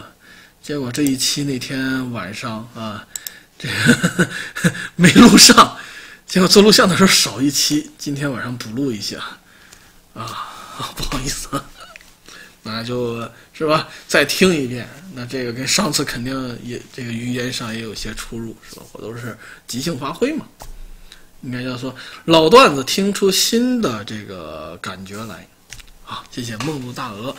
那新来水友没点过关注，点个关注。刚才呢，我也一边在讲大话南北朝，一边在看水友的弹幕。有水友说，普通人呀哪用得着对斗来斗去呢？对呀，加斯这样你说的很对啊。如果说你不往上爬，哎，不至于，对吧？最多跟同事之间起个小摩擦，哎，最多也就是在发奖金、发发工资的问题上啊，有一些略微的争执，这都不是事儿，是吧？有道是退一步海阔天空，不要去计较那百八十块的得失的时候，人自然呢悠然自得。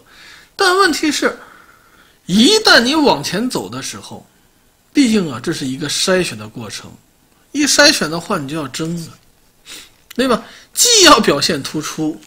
然后呢，又要争得过对手，你总不能说明火执仗的来打一架吧？你当拳击比赛呀？那么争的话，哎呀，你又不能争出火药味儿，争出火药味儿就出局。那你说这这种争法没争过，那不就得学吗？谢谢三木不升级。要不怎么说呢？小课堂的内容呢是给有需要的水友是吧？这个准备的，今儿没有了，讲不动两段，嗓子扛不住。明天的话，昨天内容继续。咱们昨天不是讲到了慕容宝了吗？明天今天再让慕容慕容宝多活一晚上，不是天赋，你得愿意去学，去去，就是说，去把过去人的这些思想学会。这是一种思路，而不是一种就是说方法，因为没有同样的情况让你再现一遍。嗯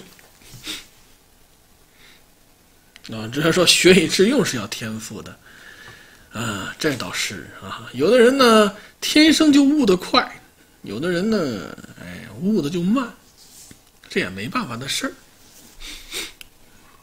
呃，慕容家的宝宝又多活一天喽。嗯，哎，那怎么办呢？你有时候说我不想争，但是你要明白一件事儿啊，如果说现实生活当中真的把你逼到那一份儿上了，需要你去争的时候啊，怎么办？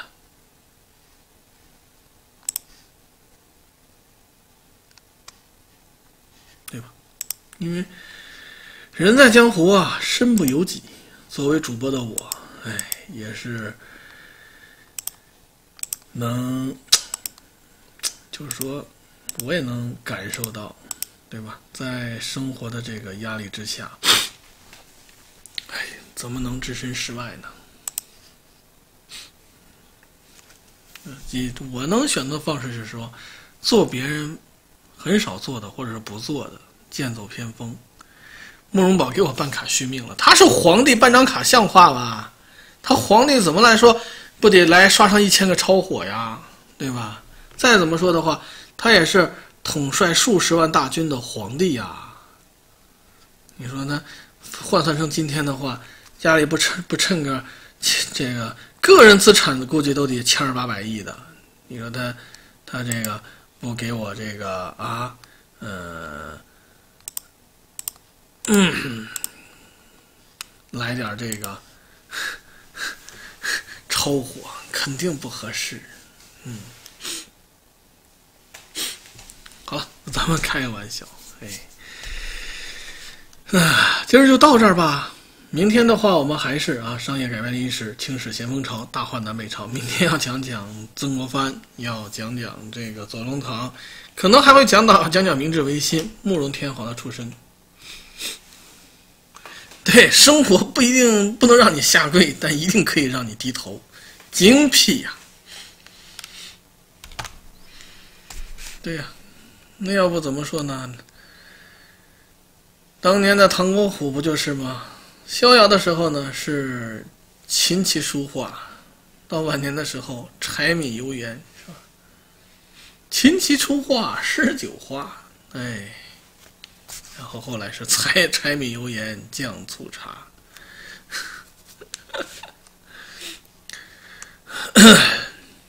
好了，大家拜拜，明天见。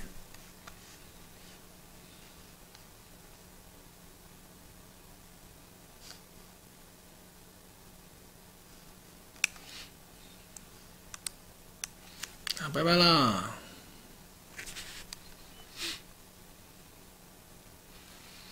说晚年为啥惨呢？没有混混出功名啊，没钱呐。那时候唐伯虎的画和唐伯虎的字又不值钱。你说现在的话，一幅画卖个几百万，唐伯唐伯虎说：“我分分钟这个成为啊这个世界收入最高的人。”那不行啊，嗯。好啦，大家拜拜。好啦，大家拜拜。